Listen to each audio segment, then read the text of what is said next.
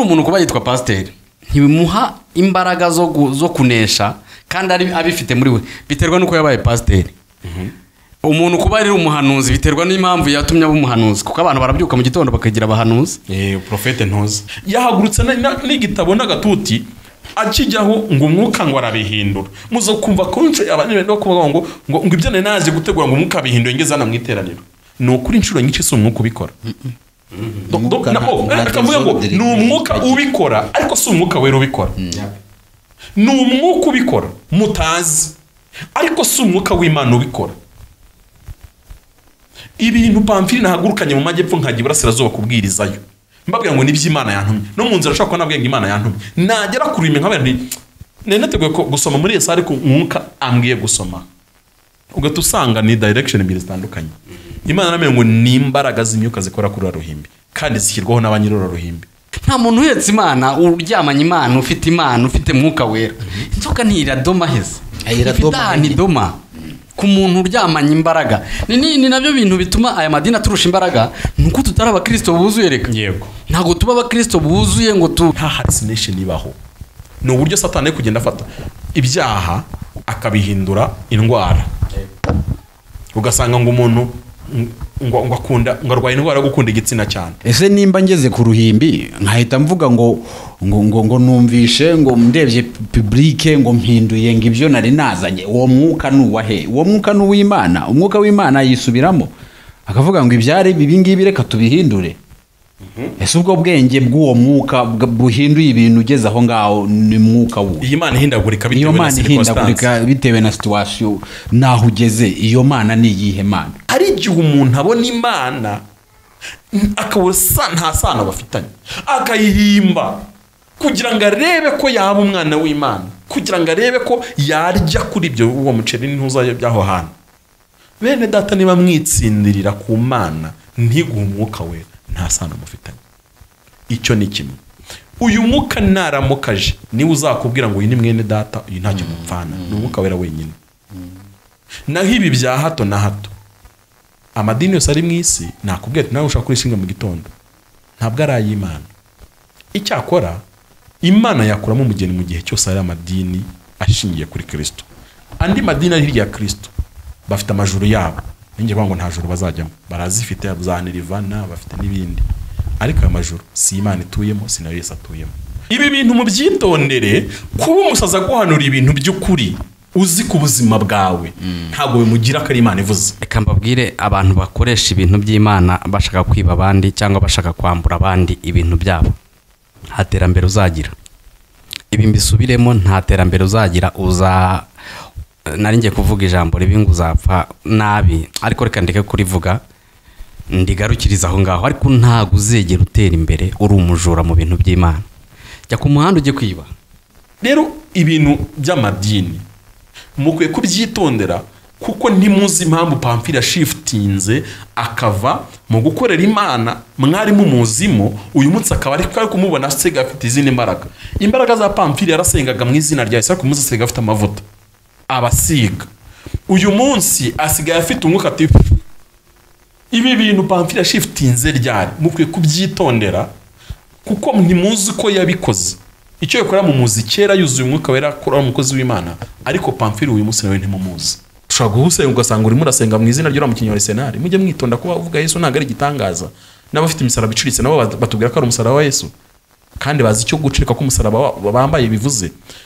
Bantu nimuhumuke nimuve mu bintu by'ubujiji mutwarwamo n'amadini dufite abarokore bagira amazi batera ku miryango ku nzu yabo ngo birukane abadayimoni hari n'abateranga ibiti ngo byitwa ibirogora n'ibindi mu nzu mu mazu ngo ntabwo abazimu bahagera. Ni ukuri. Byarakunaniye gukizwa bireke. Genda ushake indaro umupfumu mwiza ukomeye mu rwanda aguhe aguhe. Yego nabiguhe u- ubitunge ubizi neza ko ari nyabingi utunze. Kuko n'ubundi ni, nyabingi waje iwawe. Umuntu yizera amazi kurusha imana. Byarabananiye kwizera imana itagaragara barayiremye ngo igaragara.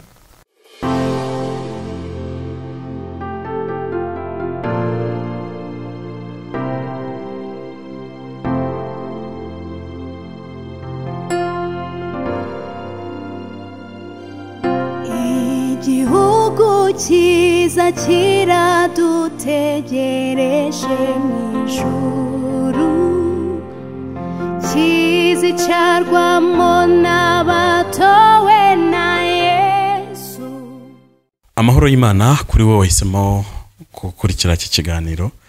Eh, ubusanzwe ndetse mu mpita ngo wahisemo gukurikira bewura ariko ntabwo ari bewura yonyine. Turi kumwe uyu munsi. Ni bewura uwashyingiwe ndetse n'impanda. Eh, twahuye kugira ngo tuganire ku by'uru rugendo nitwe usagize pamfile ni munyemerere nakire aba bagabo twicaranye. Ndahera iburyo aratusuhuza natwibwire yitwa ruzibiza atanazi ndabasuhuje mu izina rya yesu. Amen. Nawe? Murakoze nitwa daniel mukundwa ndabashuje mu izina rya kirisito yesu. Murakoze cyane aba nibo tugiye kuganira. Ahari ushobora kubura iby'iki kiganiro ukurikiye titere cyahawe kuko uko twicaye gutya ntabwo tuzi ibyo turi buvuge byose icyo ukora tuzi iby'imitima yacu yerekejeho kuvuga ariko ibindi byose tubihabwa iyo tumaze gusenga. Niyo mpamvu ninginga umuntu wese udukurikiye kugira ngo dufate akanya tubanze dusenge. Kandi niba tugiye gusenga ntabwo ari njye njyenyine ugiye gusenga kuko ngiye kuyobora ikiganiro ahubwo nawe nyine. Niba uri nko koza amasahani agasahani karambika hasi ubanza usenge. Kikore utwaye nk'imodoka birumvikana. Umutima wawe ntuhugukira iby'ijuru. Ariko kandi wiko kuri no mu muhanda. Utari wenyine umuhanda si uwawe wenyine si umuhanda ntabwo wawukiniramo utwara ariko uri no mu mwuka usenge. Ariko kandi niba uri muri ofisi wasenga.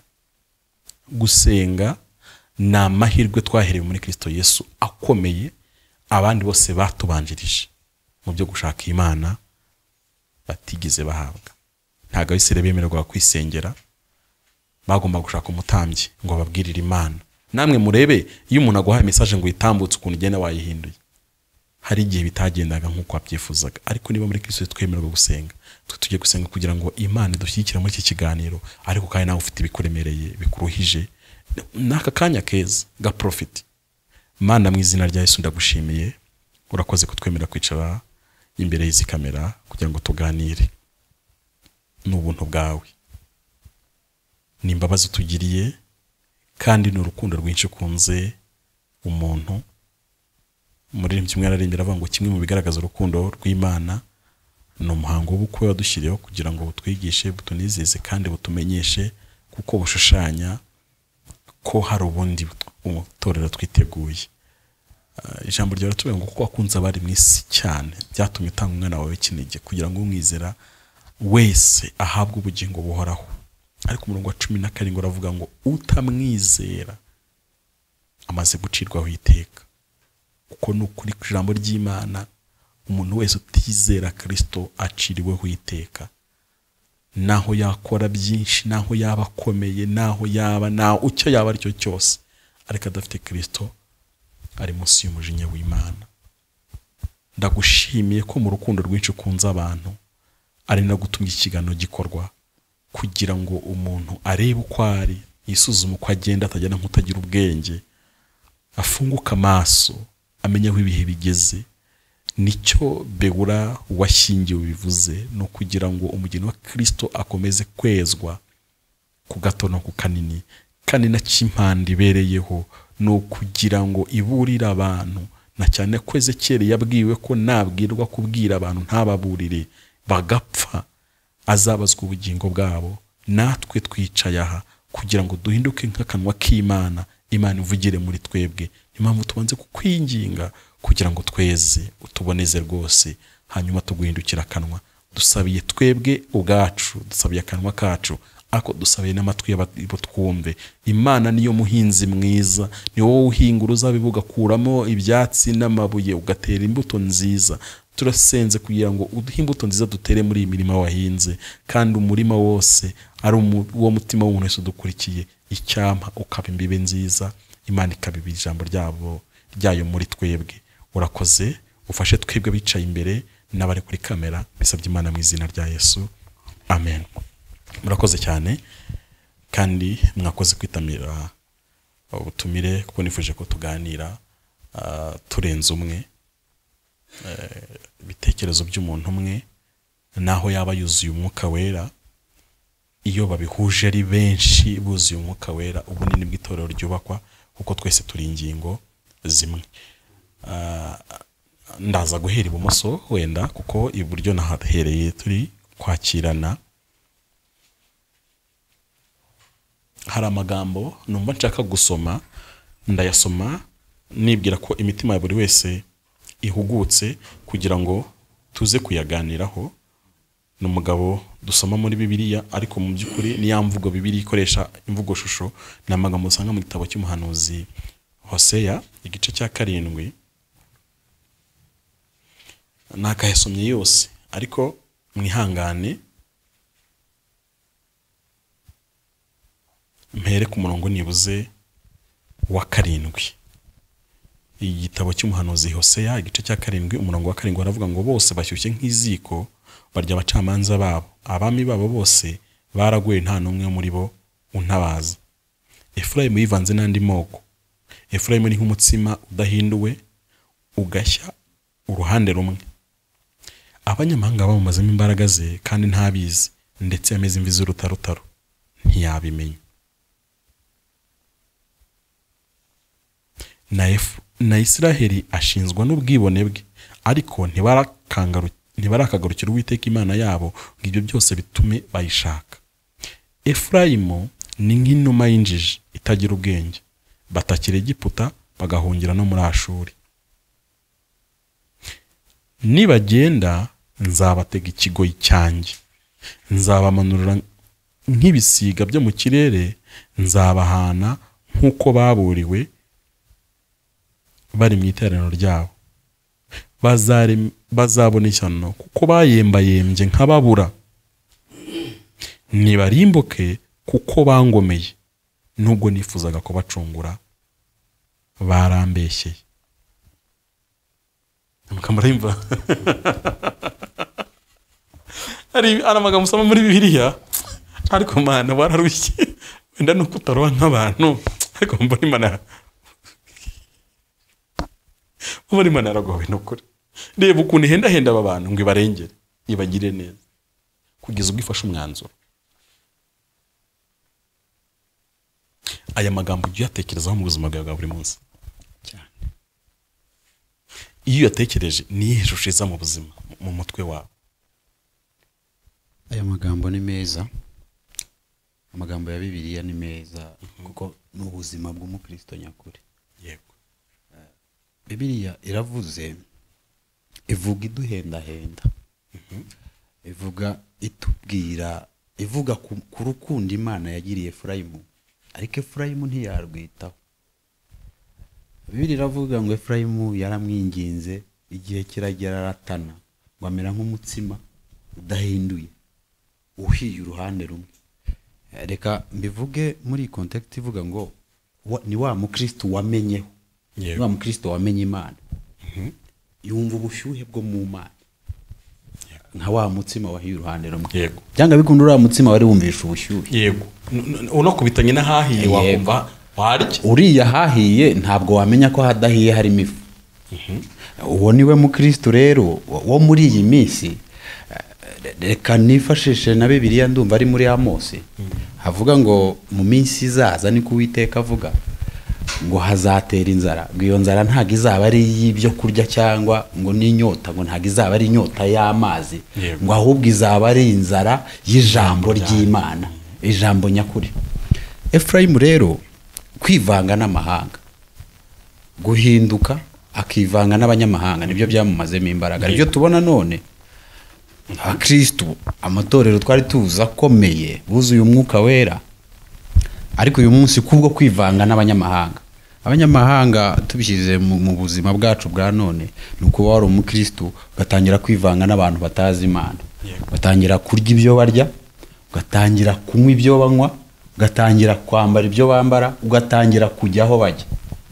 Eh, rero ah, mu- ncamake eh, muri iyi minsi umukristo nyamukristo bibiliya irabivuga neza ikavuga ngo icyo akora ngo abazi imana yabo ngo bazakomera ngo nibamara gukomera ngo bakore iby'ubutwari. Hariho kubanza gukomera. Wamara gukomera ugakora iby'ubutwari. Uyu munsi rero icyo bidusaba kugira ngo tutamera nka efurayimu kugira ngo tutamera imvi z'urutarutaro kugira ngo tutamera nk'iyo numa y'injiji biradusaba gukomera. Tuzakomezwa n'iki? N'ijambo nyakuri. Ijambo nyakuri nirigera muri twebwe ni bwo tuzakomera tukamenya ko dukwiriye kuba abakristo nyakuri. Murakoze. Urakoze cyane. Uyu mugabo witwa efurayimu imana imuvuze mu buryo butatu bukomeye icya mbere iramuvuze imuvuga nk'umutsima. Bwa kabiri imuvuga nk'umuntu ariko umeze imvi z'imburagihe. Gatatu imugereranyije n'inuma ariko yinjije. Ubundi banza ari ahantu honyine muri bibiri bavuga inuma ariko itagira ubwenge. Ubundi ahandi hantu hose inuma zi- zivugwa neza. kuri wowe? Eh, ikimenyetso cy'umwuka wera ni ikimenyetso cy'amahoro ibintu biri aho ngaho. Efurayimu wowe umutekerezaho efurayimu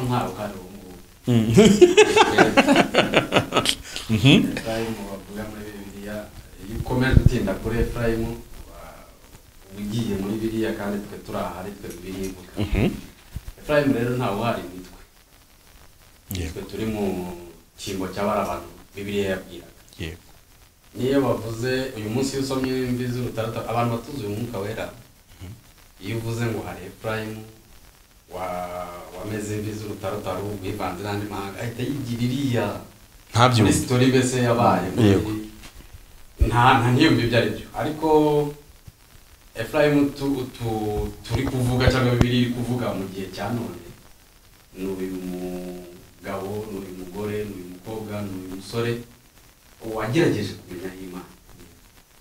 Ndetse wanasobanukiwe wasomye iki gitabo akamenya ni iki? Wuzuye ni byo kuko ni inuma?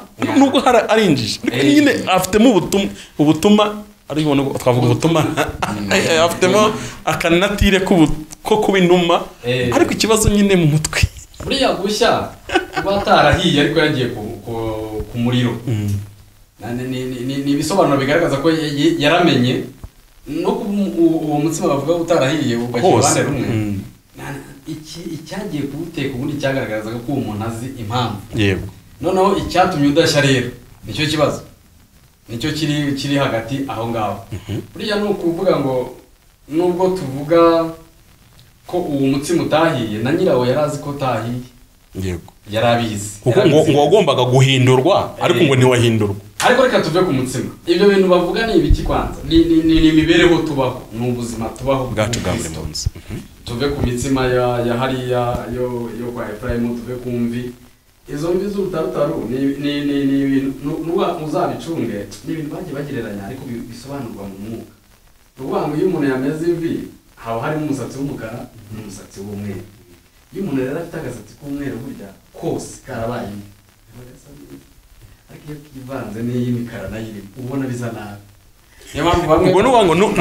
Ariko iyo niyo mpamvu ubona bamwe banabihunga bakajya guteramo udukanta kugira ngo umusatsi ukomeze ube umukara kuko yabonye bya bintu bidasa neza Ni- nicyo rero yashatse kugereranya iyo iyo ibyo bintu bibiri rero bihuye kimwe gisa umweru ikindi gisa umukara. Byahindutse ibara ribi. Kuko byivangavanze birasaba ko kiba umukara cyangwa kikaba umweru izo mvi zikaba umweru cyangwa zikaba umukara. Nibyo rero byabaye kuri efurayimu kandi si bo turi butindeho cyane turatinda twebwe twebwe. Mu buzima bwacu bwa gikristo harimo ibintu by'umukara hakabamo ibintu by'umweru twanze kurekura. Biriya wasomye. Twanze gushya cyangwa ngo tube tutagenda mu ifuru. Ah, ngaho. Umuntu yarapfubye ariko yara- arashaka no gushya byose birabijyana. Byose ntabwo ara- byakunda rero ugomba gupfuba cyangwa se ugashya. Yego. Niwe mukristo rero buriya nabonye ibintu mwabagabo mwe turi kuganira nabonye ibintu korona itangira. Nibyo navugaga ntabwo dukwiriye no kwinginga abantu abantu bafite inyungu mu kuba ba- bashya cyangwa barurira. Nibarorera bafite inyungu yabyo. Nibashya bafite inyungu yabyo. Ibi ntabwo tubyingingira abantu. Ariko abantu dukwiriye kubakangurira kuko bibiri ivuga ko aba bantu nutababwira nutababwira ukuri. Nutababwira ukuri. Wowe ni wowe urubanza ruzajyaho. Ariko kubabwira ukuri ntabwo ari ukubahatiriza. Hari igihe abantu babona abantu ba- bavuga ibintu nk'ibi ngibi bakabitwara mu buryo bwabo ariko ibi bintu ni ibintu bikwiriye kugurwa ubundi. Ubundi ninde ukugira hari ikiganiro mperutse gukora ndavuga nti ubu- ubuzima bwo kuba umukristo ni we bufitiye inyungu. Tukiri n'aha. Kuri iyi si. Ni amagambo imana yabwiye yobu Yes. gukira kwa niyo gufite inyuma bifitiye inyungu wowe. Ibi rero iyo tubitsindagira tukabitsindagira abandi bakabitsindagira abandi bakabitsindagira ni ikintu gikomeye. Nari ngeze muri korona nabonye ubuzima bw'abantu buhinduka bwa gikirisito Eh, nyuma ya korona cyangwa se byatangiranye na korona bisa naho n'undi ziraguma mu rugo. Abantu bakuyemo ibintu byinshi. Kandi ni ikimenyetso cyatubereye ko ese umuntu yakomeza koko? Kandi gushya nta gushya uyu munsi. Niyo mpamvu biriya yavuze ngo niba niba wumva uhagaze wirinde utagwa. Ntabwo uyu munsi eh, twabonye abantu buzura umwuka wera bavuga ku ndimi nshya ariko tubabona banakora n'ibindi bintu bitajyanye n'ijambo ry'imana. Cyane ukibaza Eh, uwo muntu rero eh, wa munsi natwe ubwacu turi wa munsi abivuga. Cyangwa avuga ku rurimi yari azi ko ahiye. Ariko ushobora gupfubira mu nzira. Abantu bapfubiye muri korona barapfuba rwose bamera za mvi z'urutaratara rwose. Urabibona. Ibi ni inyungu rero za buri muntu nubwo tubitindaho gutya ni inyungu za buri muntu. Yego. Muri korona urabivuze nibuka umudamu umwe yarampamagaye ndegera umu- umuntu. Ni brand ikomeye mu ivugabutumwa mu rwanda uwo muntu yambwiraga. Kandi naramuka ari ikigana azahita bimenya kuko bombi urumva njye narabicaje ndababwira. Arambwira ati pamfiri nturi umukozi w'imana ntiyego uyu si mwene wanyu umupasiteri n'ibindi urumva ni umuntu ndi gutsinda kubera ko nyine ni brand ikomeye arambwira ati ngaho ngwino hano ndebere. Byagenze gute? Yaciye hano arampanurira. Ampanuriye ampanurira reka mbabwire ubuhanuzi ukuntu bwarabuteye yaramubwiye ngo uwiteka arambwiye ngo tanga umukati aguhe burangeri ubwo buhanuzi buraryoshye Ah, nahita ngira nkongora nkawutanga ahita ejo ngo hahita haza umudamu. Aramura ngo uwiteka arambwiye ngo mpa miliyoni icumi. Njye gushinga supamaketi niko uwiteka avuze ngo kandi azaguha umugisha ugusaguke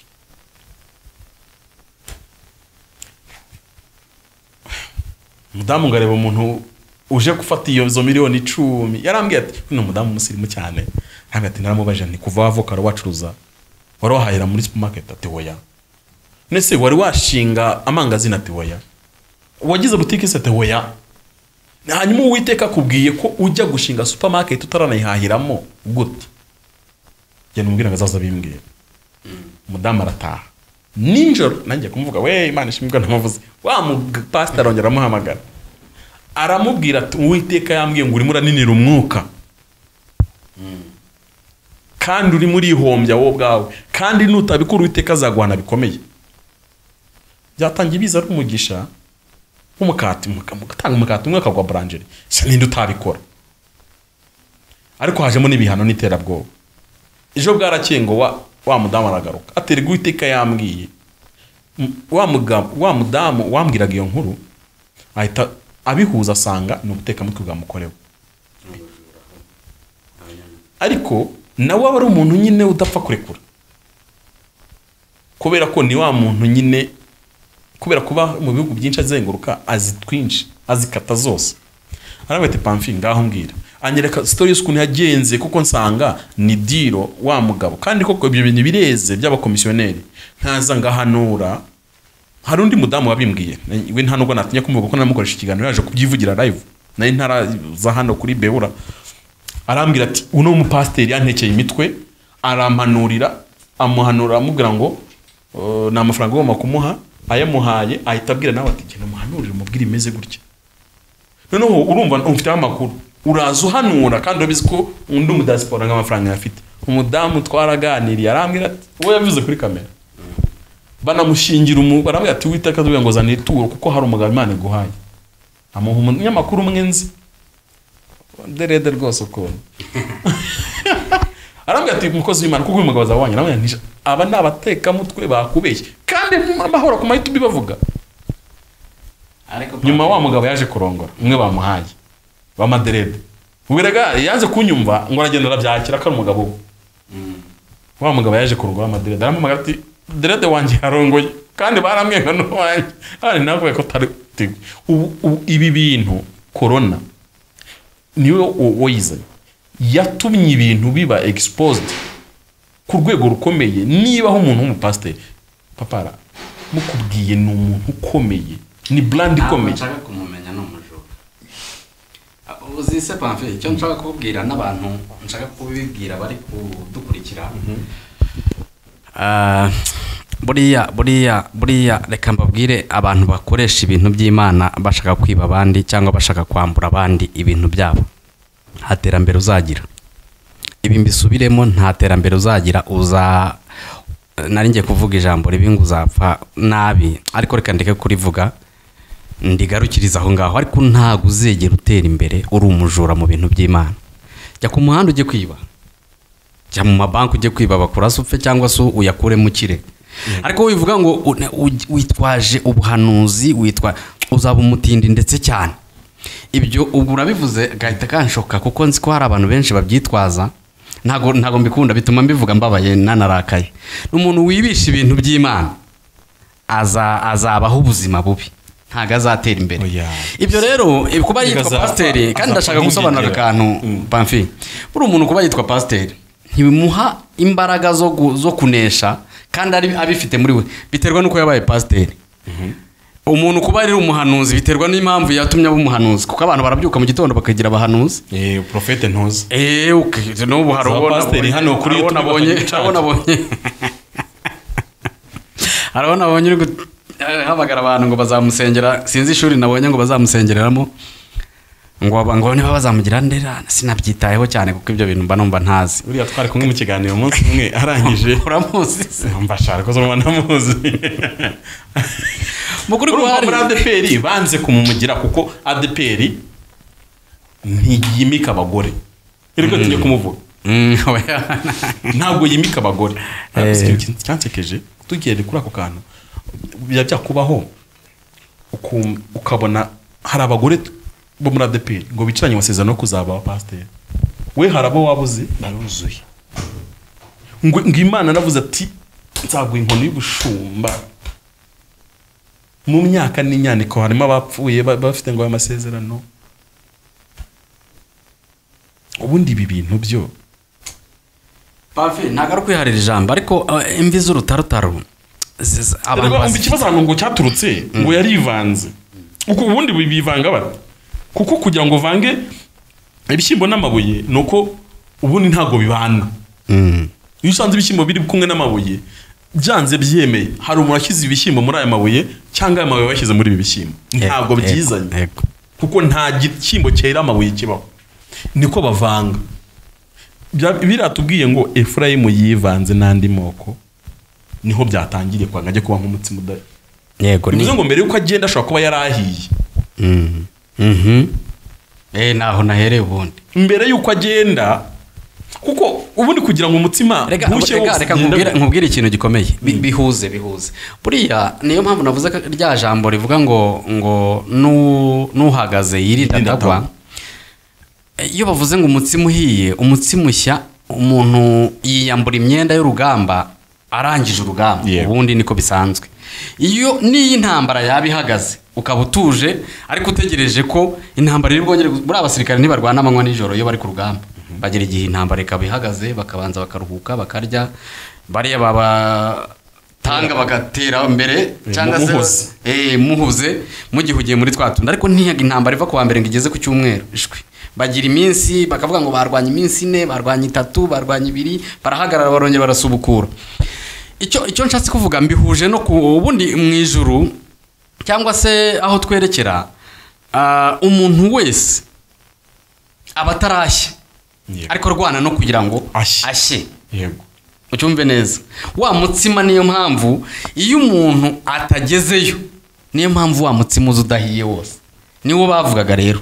Ntabwo wapfubye wari wahiye wose. Ishwi umuntu intambwe dutera ni intambwe yo kugira ngo gushya. Tu- tugere mu bushye bwuzuye. Iyo umuntu rero atashye cyangwa iyo umuntu imana imuhamagaye akagenda buriya ni bwo wamutangira ubuhamya ukavuga ngo uyu muntu yarahiye. No- noneho wa mutsima wari uhiye. N'imana ubwayo ishobora kumutangira ubwo buhamya. Ariko iyo tukiri muri uru rugendo umuntu aba atara niyo mpamvu uzajya gusanga- buhoro buhoro. Mm, niyo mpamvu uzajya gusanga usanga umuntu yaguye mu nzira agahita amera nka efurayimu waguye mu nzira agahitamo umutsima udahiye uhiye.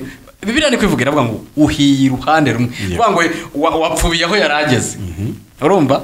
Nta na porosedire yo gukomeza kuza gushya. Uhari? Uzi ikibazo kiri bubeho? Kera eh, mwihangane mbivuge kubera gukubagana cyane bajyaga bampa guteka ibijumba. Noneho nkabikubita ku ziko kandi kera ntabwo twacanaga imyase cyangwa ni twa dukwi tw'imyayo twashatuye tworoshye. Ushyiramo watinda bikazima burundu. Ibijumba bigapfuba ntabwo nari nzi ko gupfubira ibijumba rero. Bigora kuruta kubiteka bundi bushya ahubwo niyo ugize imana bigapfubuka noneho uyu mutsima wavuye mu ifuru uhiye igice kimwe ikindi kidahiye. Nugusubizamo amahirwe menshi. Hamwe hari hahera hatashirira yego. Ari nabo bavuga ngo murankomeretsa. Ubundi ko niba muratuvugira iki? Igitangaje Mm. aho ngaho ku murongo wa cyenda. Nta nubwo ikibazo ari uko efurayimu yaguye. Ntabwo ikibazo ari uko efurayimu yivanze n'abanyamahanga. Ku murongo wa cyenda haravuga ngo igitangaje ngo nta nubwo efurayimu ngo abanyamahanga bamumazemo imbaraga ngo ariko ntabizi. Aha bivuze ngo kwa kudashya hose ni ukumumaramo imbaraga. Bibiri umuntu agenda urushaho kubisobanura. Ahandi irongera akabivuga ngo ni ni ubujiji. Ni ukuba inuma ariko noneho urinjije. Hanyuma turibaza ngo reka tugere kuri kano kantu katangiye katangiye ibi byose. Efurayimu ya byatangiye ajya kwivanga n'amahanga. Yego. Reka dusobanure aka kantu udukurikiye aba agatekerezaho umwanya munini. Uyu efurayimu bibiri kuvuga ni irindi zina ryitwaga abisiraheli. Ah, nyuma y'uko salomo apfuye umuhungu we akamusimbura yitwaga rehobowamu igihugu cyacitsemo kabiri kubera kutumvikana igice cy'amajyaruguru cyitwa abisiraheli cyangwa kikitwa samariya cyangwa kikitwa efurayimu. Icy'amajyepfo cyashobora kwitwa yerusalemu cyangwa kikitwa ubuyuda. Ayo mazina imana ishobora kuyavuga mu- mu buryo nk'uko dushobora kuvuga ngo ugiye hehe wenda nk'umuntu uri muri canada. Akabwira umwene wese ati ngewe ngiye i kigali. Ariko undi akavuga ngo ngewe ngiye mu rwanda. Mu by'ukuri abo bantu bagiye ahantu hamwe. Bagiye bavuze efurayimu bakavuga isirayeli bakavuga samariya bavuze ikintu kimwe. Aha ni hoseya yahanuriraga amajyaruguru. Bari batararimbuka. Ariko mwumva ikibazo cyabayeho. Aya mahanga yivanze na yo ni ayahe ni egiputa ni ashuri. Niko twasomye. Kugira kwivanga nabo byari ibihe. Kandi imana yari yarababwiye ngo mbavanye mu egiputa ntimuzasubireyo ukundi. Kandi ni mbatoranyije kugira ngo mubabera iri jambo kwera bivuga gutoranywa ugashyirwa ku ruhande kugira ngo wegurirwe imana. Niki ijambo to be holy cyangwa se kwera bisobanura. Ntabwo ari ukutagira icyaha. Nta nubwo ari ukudakora amakosa. Mm, mm, abantu baryumva nabi. Ni ukuvuga ngo ni ugushyirwa ku ruhande kuko hashyiriwe imana. Ni ugutoranyirizwa kuba uw'imana gusa. Ni ukwegurirwa imana no kuba umutungo w'imana. Hanyuma noneho hahandi ku ruhande washyizwe urimo urahava ukagaruka kwivanga. Kandi bakuvanye mu yandi mahanga kugira ngo ube uw'imana. Efurayimu rero arongera ngo atangira kujya ajya kuba inshuti na na egiputa kongera kujya ajya kuba inshuti na ashuri ni byo byamumazemo imbaraga. Kubera iki? Yaragendaga akareba pati zabo ibirori. Yari kuri ibirori byabo haba hahiye. Muri sere twasigaye inyuma we. Nyamara nta bwenge tugira. Ngo yarebe ukuntu abakobwa babo mwibuke neza mu kibaya cy'imowabu mu kubara makumyabiri ni cyo kintu baramu yabwiye baraki yakora bisera akabashobora. Ni ugutuma abahungu babo basambana n'abakobwa babo n'ibivanga biraza gukunda. Reka tubivuge noneho mu mvugo zeruye. Mu isi habaho amadini manini manini. Habaho idini rya gikristo hakabamo irya gisilamu n'irya gihindu n'ibindi. Utundi turimo imbere mu gikristo ni udusadini ntabwo ari amadini mu by'ukuri. Kuko idini ryo ni ubukristo. Ah, adeperi si idini ni akagirwa dini. Advanciste restoration zion temple ibi ibyo bindi byose biri aho ngaho. Ariko ni ukubera iki tubaho kuki adepr ikoresha bibiri imwe na adventiste? Na zion temple na restoration na, na, na, na methodiste na, na, na abaprotestant tugakoresha bibiri imwe. Ariko ntiduhuze imyizerere. Ni ukubera ko byanze byemeye harimo impamvu. Uyu munsi iyo pamfile avuye muri adepr akajya kubwiriza muri angirikani akwiriye kwitonda kuko uru ruhimbi rugira imihango yarwo. Rugira n'imbaraga zarwo. Niyo mpamvu adeperi atarangirikana niyo mpamvu metodiste atari restoration. Nyine biratandukanye nubwo mukoresha bibiri imwe ariko mwibaza impamvu mutahuza kandi mukoresha bibiri imwe bikwego no gutuma mwitonderane mwitonderane. Adivantiste ntiduhuza. Cyane cyane kudahuza kwacu gushingira ku isabato. Ariko si cyo kintu cyonyine. Kuko ntiduhuza no kubera iminsi yindi. Niba tudahuza bivuze ngo bafite ukuntu basengera uruhimbi rwabo. Reka mbaho urugero rw'ikintu kimwe cyambayeho kirantangaza. Nigeze najya gusenga. Turi gurupe twa turi gusenga ndabyibuka ari kuwa gatandatu nijoro. Dusengera amateraniro ahantu ku cyumweru. Imana natubwira ngo dusengere ruriya ruhimbi cyane kuko hari ibintu rwakorewe n'uruhimbi rwo muri adeperi ntabwo ari ahandi. Hari imihango rwakoreweho himikwaho imbaraga y'inzoka. Mu mwuka ikora nk'inzoka. Umuvugabutumwa wese urugiyeho ibyo yari agiye kubwiriza birahinduka. Kuko ngo iyo nzoka irahaguruka ikamudoma hano mu hano bahindira bahita ngo iki hano Mu inyuma. ntege. mu ntege. Iramudoma hano mu ntege. Noneho ibyo yarateguye kubwiriza cyangwa ibyo imana yamuhaye kubwiriza ngo bigahita bigenda. Ntabwo cyatworoheye kuko mu by'ukuri mu buryo bw'umwuka iyo nzoka iragaragara. Ariko mu buryo bw'umubiri ntayihari rwo rusengero rurimo n'amakaro. Ntayihari. ariko gusenga noneho byatumye nkora ubushakashatsi simbizi ukuntu nteye. Niba imana ibimbwiye byo mu mwuka mba numva nshaka no kumenya mu mubiri kwawe nzabone uko bisobanura naje kujya tuganira n'abantu benshi. Noneho waganira n'umuntu ukamubaza byagenze gute? Akavuga ati reka mbabwize ukuri. Ibintu nari naje gutegura ntibyahindutse harimo abakubwira ngo ni umwuka wabihinduye. Yahagurutse n'igitabo n'agatuti akijyaho ngo umwuka ngo arabihindura. Muzo kumva konje abantu benda kuvuga ngo ngo ngo ibyo nari naje gutegura ngo umwuka abihinduye ngeze hano mu iteraniro. Ni ukuri inshuro nyinshi si umwuka ubikora. Oh, akavuga ngo ni umwuka ubikora ariko si umwuka wera ubikora. Ni umwuka ubikora mutazi ariko si umwuka w'imana ubikora. Ibintu pamfiri nahagurukanye mu majyepfo nkajya iburasirazuba kubwirizayo. Mbabwira ngo ni byo imana yantumye. No mu nzira ashobora kuba nabwiye ngo imana yantumye. Nagera ku rurimi nkabera nti nari nateguye gusoma muri iyo sare umwuka ambwiye gusoma. Ugahita usanga ni direction ebyiri zitandukanye. Imana namenya ngo ni imbaraga z'imyuka zikora kuri uriya ruhimbi kandi zishyirwaho na ba nyiri uriya ruhimbi. Ibyo nkubwira ni byo namenye muri adeperi ntabwo ari muri yandi macaca. Noneho nagiye nganiriza abavuga benshi bagenda bajya kuri urwo ruhimbi nzi. Kuko nkasanga iyo nzoka ntimudoma ngo ayumve. Ariko ngo yumve imbaraga imu- imupushinga guhindura ikibwiriza. Mu buryo rero bwumvikana muri teoloji iyo umuganira muri teoloji akavuga ngo narebye public ukuntu hano yari iteye. Ndebye mudu y'aba bantu. Mpita mbona bakwiriye iri jambo ntibakwiriye rino. Ni iyo logike satani aguha. Ndebye ko uwabwirije irya mbere ukuntu babyakiriye mbona badakwiriye ibi ngibi bakwiriye bino. Ariko ari imbaraga y'umwuka iba kuri kariya gatoti nigeze twasengera umuntu aduha ubuhamya yari umuzamu warindaga hano ku rusengero sindi buvuge urwo ruhimbi urwo ruhimbi yarindaga. Buri saa sita za nijoro hazagaho inzoka nini cyane ikaruzenguruka igakora ibyo yagombaga gukora igaciraho igakora ibintu byinshi. Saa cyenda pasiteri akaba arahageze nawe agakora ibyo agomba gukora kuko iyo mbaraga nyine zari imbaraga ziri konegiti wa muzamu umunsi umwe aza kwinjira mu ru- mu rusengero amasaha bamubwiye atageze. Akubitana na ya nzoka arakubita arayica. Ngo ayice pasiteri ahita aza ako kanya. Arambwira ngo ni icyo ukoze hano ku rusengero kibaye. Undi ati ntacyo da? Bose ni ukuri? Cyewe kuko ngo imana amaze iminsi mbwira ngo nasenga asenge akora amasengesho y'iminsi imana yamutegetse muri iyo minsi rero ari muri aya masengesho ni bwo yinjiye mu rusengero. Akubitana na ya nzoka. Arakubita arayica. Ayishe mu masaa sita n'iminota pasiteri ageze ku rusengero amubwira ngo ni iki kibaye hano ku rusengero? Umukozi w'imana uri aho ngaho w'umuturage utazi ubwenge bwinshi nta busobanuro bwinshi bw'inzoka. Oya ni ukuri? Nta mujura da? Ibintu byose bimeze neza acana amatara. Ni iki cyabaye? Ati ni ukuri ntacyo kuko kuva kare nari ndi maso ndi gusenga ntandi cyangwa se hari iminota ninjiye mu rusengero nkubita ameze uko ndayica se hari umuntu waba wibye? We yari azi ko hari ibintu byabaye bibye ari ripoti ihawe pasiteri. Aravuga ngo iyo nzoka urayishe aravuga ngo urayishe undi ati ni inzoka nyine yari kuzengurura urayishe atafata intera y'umukubita ati urajyana na yo.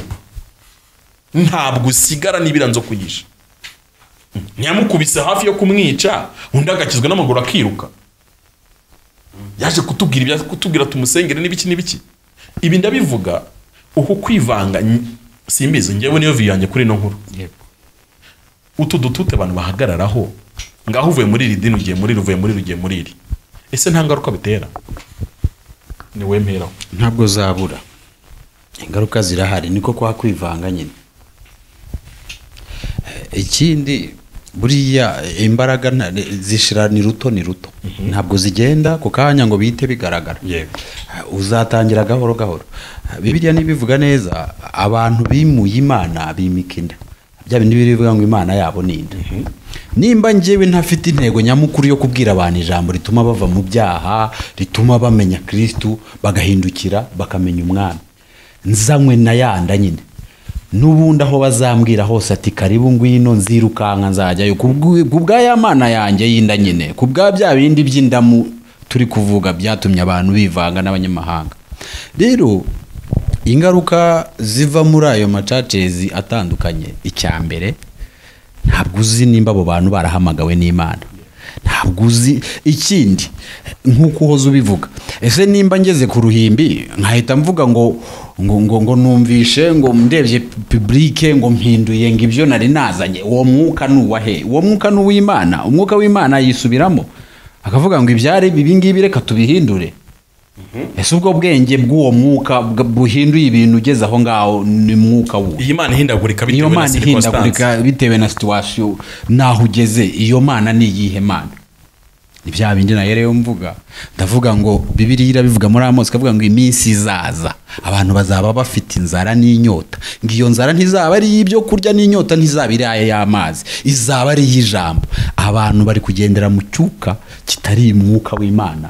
Ahubwo bayobowe n'amarangamutima bagakubita hasi ibintu bitari iby'umwuka bitari iby'ijambo nyakuri twamenye ari ryo ritubatura. Bibiliya ikabivuga neza ikavuga ngo ubwoko bwanjye burarimbutse buzize kugira gute? Kutamenya. Icyo ubwoko bw'imana buri kuzira bwahoze bwa efurayimu turi kuvuga icyo abantu bari kuzira bari kwivanga bari guhinduka. Ntabwo bakiri kuyoborwa n'ijambo. Nko kugura igikoresho kikagira kataloge ukagura televiziyo eh, hagezweho simati bakakubwira ngo nukora swiki uzabigenza gutya nujya kureba cano iyi n'iyi uzaca. Ubugingo bibiriya abana b'imana tuyoborwa na bibiriya nimba utasomye ijambo ngo uryige urisengeremo zeru uravuga n'ubundi bigendanye. N'amarangamutima y'icyo uri gushaka. Uri ku isoko yo guhahira inda yawe. Ariko ntabwo uri kubwira abantu iby'ijambo ribatura abantu ngo bave muri bwa buyobe. Murakoze. Hafi ijambo ibintu by'amadini ngewe simba nshaka no kubivugaho cyane. Kuko sinanabikunda sinanabyemera neza. Ubundi idini burangiye ndifata nk'ahantu nyine abantu bahurira ba- bitewe n'uwabishinze kuko ubundi n'ubusobanuro bw'idini ni itsinda ry'abantu bahuje imyizerere. Yego. Rero buriya hari akantu watangiriyeho abantu bose twese ese buriya ubundi dusoma igitabo kimwe? Ariko ntiduhurire ahantu hamwe. Nicyo kibazo. Washyizemo ako kantu rero hagati? Ko gutuma bidahura. Ko gutuma bidahura. Ubundi ni we wazanyemo ikibazo. Afite ikibazo wowe ubwe n'ibyo bintu uvuga byo ku ruhimbi ku mpimbi nyinshi hariho ibibazo bizanwa. No kuvuga ngo washyizemo ako kantu kugira ngo uyu n'uyu badahura kandi basenga imwana imwe. Basoma umurongo umwe? Basoma n'umurongo umwe igitabo kimwe. Uwo yashyiramo n'ibindi bintu. Aha. Aha handi abantu bahagarara. Kuko we yarabizaniye. Ubundi twebwe twebwe ubwacu twebwe tujya gufatirwayo twebwe dufite ikibazo. Nitwe dufite ikibazo twebwe tujya gufatirwayo. Ko uyu muntu we yashinze ibi bintu bye azi impamvu. Azi n'impamvu abishinze. Ashatse yazanamo ibyo ashaka. Rero abakirisito abakirisito ahubwo bakwiriye kumenya ubwenge. Dukwiriye kuva mu bintu by'amadini tukareka no kubitindamo cyane. Tuka- tuka- tukavuga ukuri ko ku- ku- kujyana abantu mu ijoro bikaba ari byo dutindaho kurusha kuko aya madini yo araduteranya.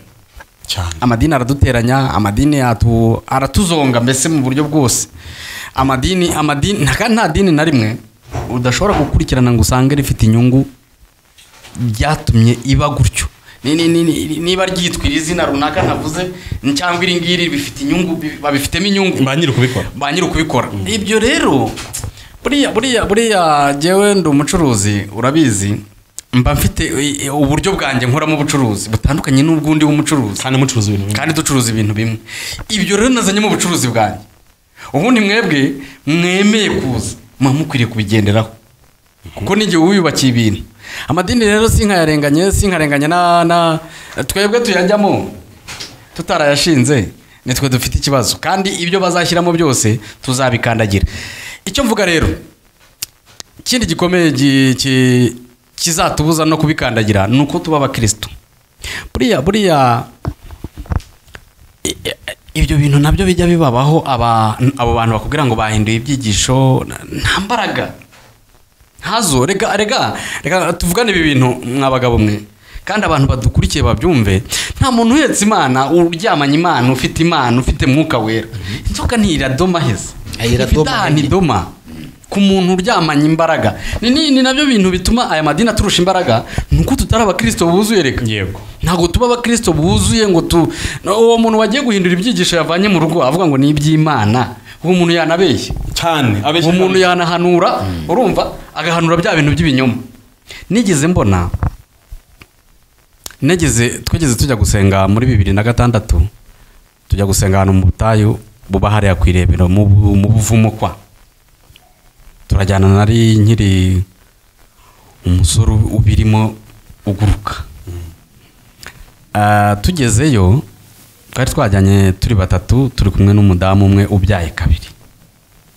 Tukinjira. Natinye natinye ibintu byitwa ubuhanuzi ubu ndabitinya ubona? Eh, ibintu byitwa ubuhanuzi ntabwo ndabitinya wose ugihanura yewe buriya nabigenjeje gake kuko nabonye abantu babikoramo amanyanga. Negeze mpanura igihe na kinini. Eh. ariko natinye kugenda mbona ibintu bi- bikorerwa mu buhanuzi. Ntabwo wabonye ndahanura kubera ko niyo ndi kuvuga ijambo ry'imana. Buba ari ubuhanuzi. Ariko buriya buhanuzi buriya buhanuzi uzi nawe abantu bagenda bakoresha. Bisa nk'aho umuntu abanza ngo gukurwa mu mubiri kugira ngo ajye mu yindi si. Eh, biriya bintu biriya bintu biriya bintu biriya bintu ari mwe ari abantu badukurikiye mujye mubyitondera. Mujye mubyitondera nabibonyemo ibintu nabitinzemo ndabibona. Bibamo kata nyinshi bibamo n'ubugome. Bibamo- kuko nabonye ubugome icyo gihe. Twarinjiye umudamu. umuntu ku- guhagarara uwiteka aravuze ati ihane. Ku ruhame.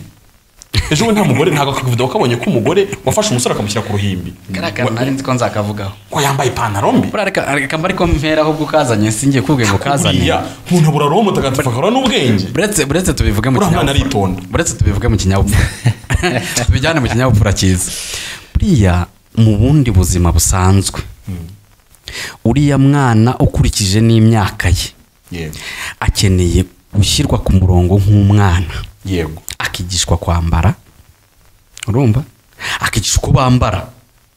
Ariko nta ki- buriya umwana ntushobora kumutoza uz- ngo azumve ikintu ahinduka arani wanjye iyo ngiye kugira ikintu mubwira ndabanza nkamwicaza nkamubwira ariko iki kintu? Arani ni kibi kuri ubu buryo niyo agisubira aravuga ati ariko papa papa yari yabimbwiye. Gatatu gakubita. Eh, kino kintu ntabwo ari cyiza. Akura gutya atinya ati iki kintu papa yakinganirije kandi ntabwo yanyishyizeho inkoni. Ubutaha rero uriya mwana rero ni n'umwana rega. Niba waramwitegereje Mm. uriya mwana yari akeneye uriya mubyeyi kandi n'iby'amadini amadini buriya hari umuntu wageze kunganira umuntu yageze kunganiriza arambwira ati idini buriya ni mukuru w'umwana w'ikirara. ni ikintu kikwifuza. Mukuru w'umwana w'ikiraro umwe muri bibiri. Yego umwe muri muri bibiri. Ni ukuvuga ngo ni ikintu cyifuza kuza. Ariko wabona ibyiza. Cyangwa wagiriramo ikibazo. Ntikibe kigufite. Umwana w'ikirara mukuru we yifuzaga ko muri we aza. Ahageze ngo bamukubitiye ikimasa hariya cyiza papa ibi bintu ntabwo byavamo. Ngewe imyaka yose. Imyaka yose maze aha. Ise ise uzi ikintu yahise amubwira. Yaramubwiye ngo ibi bintu byose byari biri aha ni ibyawe. Ariko uyu muntu umaze igihe mu gisambu. Ka- kamwe Mm, aka aka. Ni uko ngo idini. Akantu na- na- narakumvise icyo nari ndi kuvuga uwo mudamu twageze aho hantu baramuhanurira. Twari turi kumwe narabibonye. Ibyo ngibyo ntabwo ari amagambo numvise. Sinkunda kuvuga ibintu numvise nkunda kuvuga ibintu nabonye. Baramuhanurira yarabyaye kabiri. Yaramaze iminsi aduha ubuhamya bw'ukuntu yashatse bi- bigoranye n'imiryango itabyumva neza ariko imana ngo imukorera ibitangaza mbese turi mu kirere dushima imana. Abyaye aka? Baramuhanurira ngo umugabo afite ngo ntabwo ari uwe. Nari ndi mu- muri wa mwuka. Naragiye na mama ashobora baramuhanurira. Twagiye itangubu ntabwo nkubeshya twagiye ahantu mu buvumo. Nari ndi muri wa mwuka ariko ku- ku- ku- kubyumva ibyo bintu byarananiye. Njyewe uzi ukuntu namubwiye nkamunyetse nkamukubita. Twarasohotse. nayimukubita. Uko bene abikibica ni uko akora amabi nka imana imuhaye undi mugabo. Uzi ko umuntu nk'uwo aba akwiriye kujya guponda amabuye y'intuze numvise ngo barayavangavanga bakabigira uburozi akajya kuroga. Kuko ibyo bintu aba afite amakara ashyushye yaka umuriro ku mutwe aryamanye yikoreye kuvuga ngo umuntu si uwawe umugabo si uwawe ukabivuga utabikuye ku mana. Kandi ibyo bintu ukabivuga mu imana izina ry'imana. ubwenge nzi urumva ntekereza ko butakora iryo kosa ryo kukubwira ngo uriya mugore mubyaranye kabiri. Uriya mugore mubyaranye kabiri. Ngo si uwawe. Noneho mu reba bwonko. ubwenge bw'imana nvuze ubwenge bwawe. Ubwenge bw'imana yatanze umwana. Buriya- hari ikindi kiganiro nzakubwira. Tugahura tugakora. Kandi tujye dufasha abantu. Nta nta nta nta bindi bintu nta zindi nyungu. Ni ni wo murimo w'imana kwa? Ni wo murimo w'imana. Nta bindi tugendereye ni ukugira ngo Abantu bave mu no mu bintu. Kuko ibi bintu bituma abantu badashya biri muri ibi bintu byihishe. Birimo amanyanga birimo n'imitwe birimo no kubeshya. Kuko ejo bundi nabonye umugabo wahamije ko gusenga imana ari byiza ariko akaba ari kubihakana.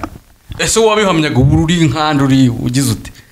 Pasiteri nako ni ikintu ntazi kuko nawe uzi icyo mwita kuko byose arabyitwa. Ntabwo ugiye uherutse kuvuga ngo uvuga. ngo ngo baratubeshye ngo dukizwe batwubakana nyarutarama batwubakana ngo batujyana dubayi nahise numva neza satani yafashe mikorofone ari kuvugira mu kanwa akantu nkubwire akantu rero kandi imana ajya kutubwira ngo umva bazabakoza nkubwire akantu k'uwo rero nako nkakubwira buriya uriya muntu hari ibyo yavuze biri mu kuri kubera ko aba bantu kubera inyungu zabo nabo bayigishije abantu nabi yego. Reka ndeke kuvuga ngo natwe.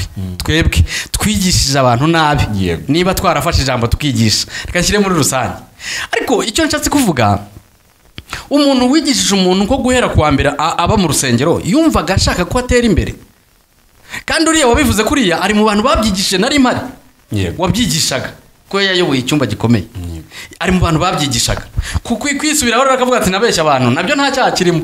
Ubwo ntabwo ikibazo ntabwo avuga ko yabeshya abantu avuga Eh. ko abantu bamubeshye. Ariko buriya yivuga ukuntu ari mvuze ngo natwe. Twebwe dushobora kuba tutarafashe na mikoro icyo gihe cyangwa ngo tugire icyo tuvuga kuko tutari dufite gahunda yo kuvuga. Ariko bavuze. Yari kuvuga ati jyewe narababwiye.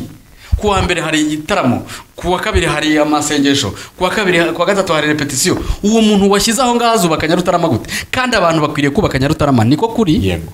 Bakwiriye kuhubaka. Abantu bubatse nyarutarama rwose mwese ndabasuhuje imana ibaha umugisha. Eh. kuko icya mbere nyarutarama niyo karitsiye yatumye kigali yitwa abasirimu. Yego. tujye tubyemera. Yego. ntabwo abayubatse bose ari abanyabyaha kuko nk'uko uriya bivuga icyo bikora niba wa- warahubatse nyine kuko wariye amafaranga y'imfubyi ukarya amafaranga y'abapfakazi ukarya amafaranga y'abandi n'abandi ukwiye gufata umwanya umunsi ukihana. Niba ari n'ibyo ubasubiza ukabibasubiza. Ariko kandi ntabwo kujya i dubayi none se buri mu- buri munsi iyo imana ibwira abantu ngo izabagira neza. Ibicisha ibicisha ntabwo ari icyaha. Ahubwo icyaha ni ubujiji abantu babayemo. Kandi ariko Ubutumwa ako kantu navugaga Mm. ubwo bujiji uvuga ngo abantu babayemo. Hari bumwe bwatewe n'abantu babanaga nabo muri ayo madini. Ese nsobanurira uwo muntu? We ntabwo wamukubise nyine maze kubwira umudamu w'abandi ko umugabo atari uwe ariko kantu urakanyumvishije urakanyumvishiriza neza. Hari abantu bamwe bagize ubujiji n'ubu bakibufite byatewe n'ayo madini uko bintu bigishijwe uwo muntu rero urebye ubujiji kuko si bwo sa- si amadini abuza.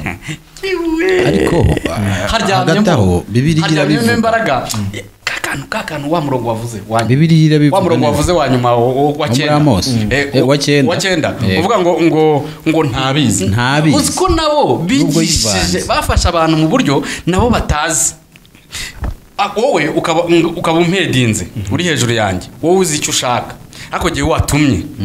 Nkagenda nkabwira abantu muze mugire gutya gusenga ni byo bibi gusenga si bibi. Gusenga ni byiza ni ukwegerana n'imana no kuganira n'imana. Ntushobora kubana n'umugore mutaganira. Ntushobora kubana n'umugabo mutaganira. Niba ufata umwanya wo kuganira n'abavandimwe no kuganira n'umugore niko umuntu akwiriye gufata umwanya wo kuganira n'imana. Kandi kuganira n'imana ni ugusenga. Tukiri aho rero tukiva muri ubwo buvumo. Umugore naramubajije ese biriya bintu baguhanuriye ubyumva ute uriya muntu urabona atavangiwe ngo ya ngo ni ubwa kabiri ngo babimbwiye urabyumva ko uwo muntu nawe yapfuye urwo rugo ruracyahari nari nari nkiri umusore ndamubwira nubwo unduta ariko reka nkubwire utuntu tubiri. Ufite wa muhungu wawe w'imfura. Ntufite na wa mukobwa we umukurikira. Bariya bantu niba bataravuye ku mana. Imana ikaba yarabaguhaye kubyarana n'uriya mugabo aba bana babiri. Iyo mana uyiveho uhita ubivamo ujye kunywa itabi unywe n'inzoga. Ariko niba wizera ko imana yaremye abo bana. abo bana ikababumbira mu nda yawe bivuye muri uriya mugabo. Iyo niyo mana wakurikiye. Bana n'uriya mugabo usuzugura imana iyo mana uyisuzugure burundu. Arambwira ngo wape ngo mfite n'ikimenyetso. Ni ikihe? Umugabo wanjye. Uwo bamuhaye amafaranga ava muri iri dini ajya muri ririya. Yagiye gukorerayo. We yagiyeyo nk'akazi. Ntabwo yavuye muri iri ariko hari akazi yakoraga ntashaka kuvuga kugira ngo mutamumenya.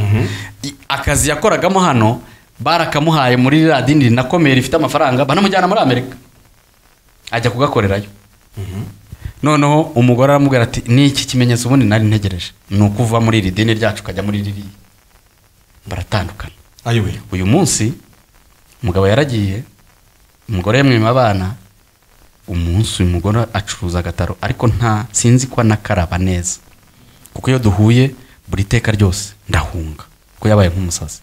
Ese ibyo bintu imana irabikora?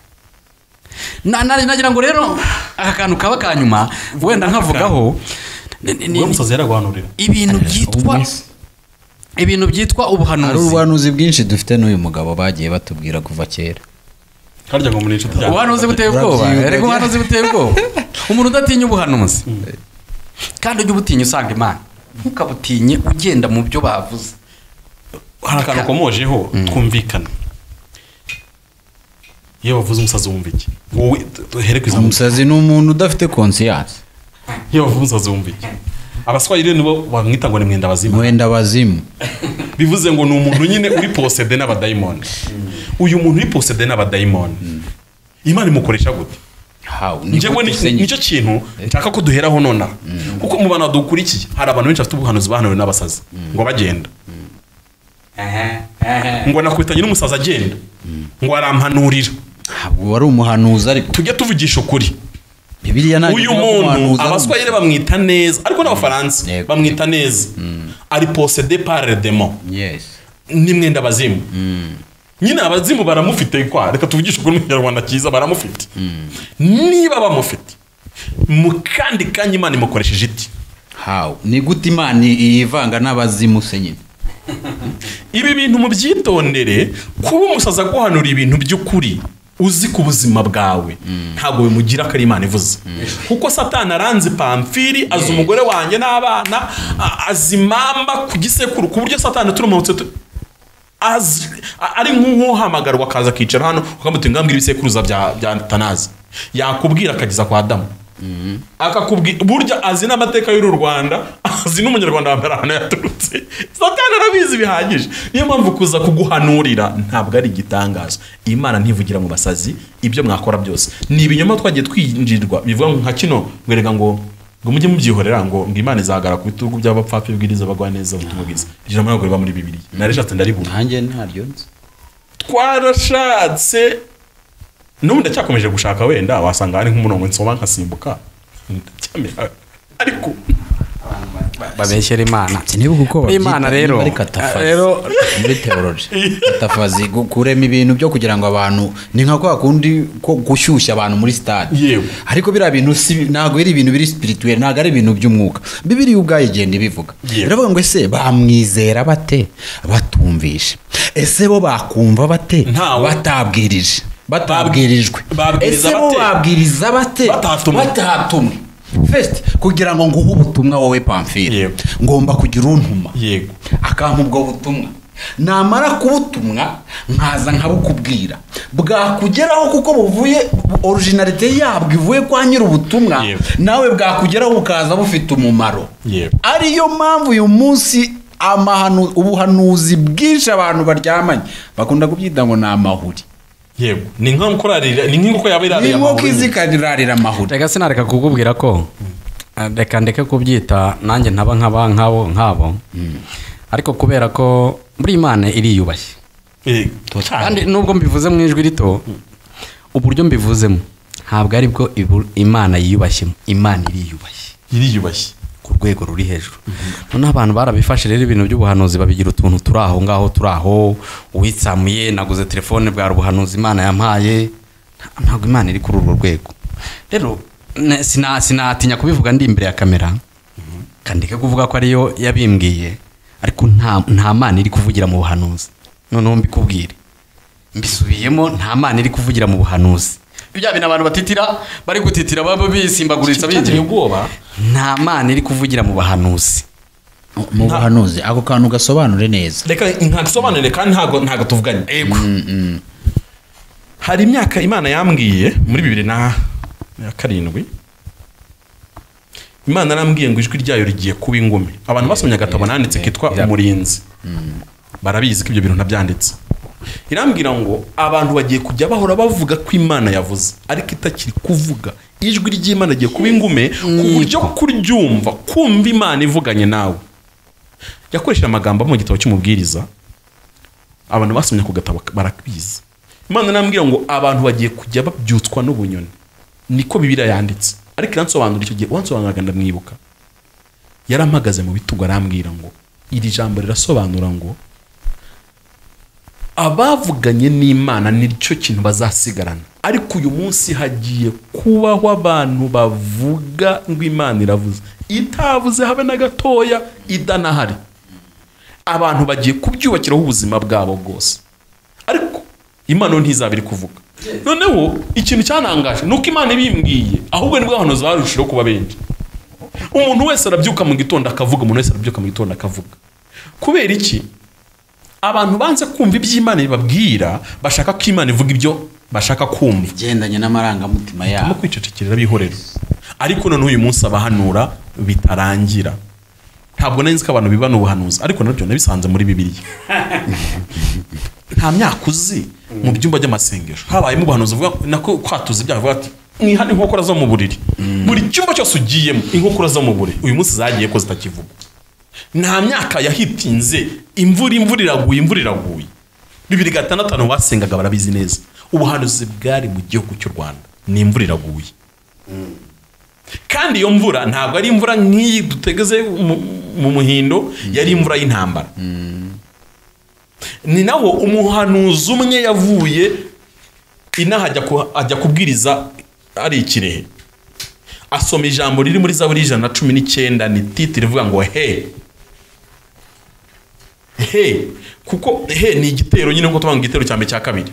Ni imwe muri arufabe zigize igiheburayo aravuga ati he ni ku iteka avuze ati he karabaye. Abantu barahunze bava kirehe bageza uganda bahunga ngo he y'imana kubera ko intambara ibaye mu gihugu.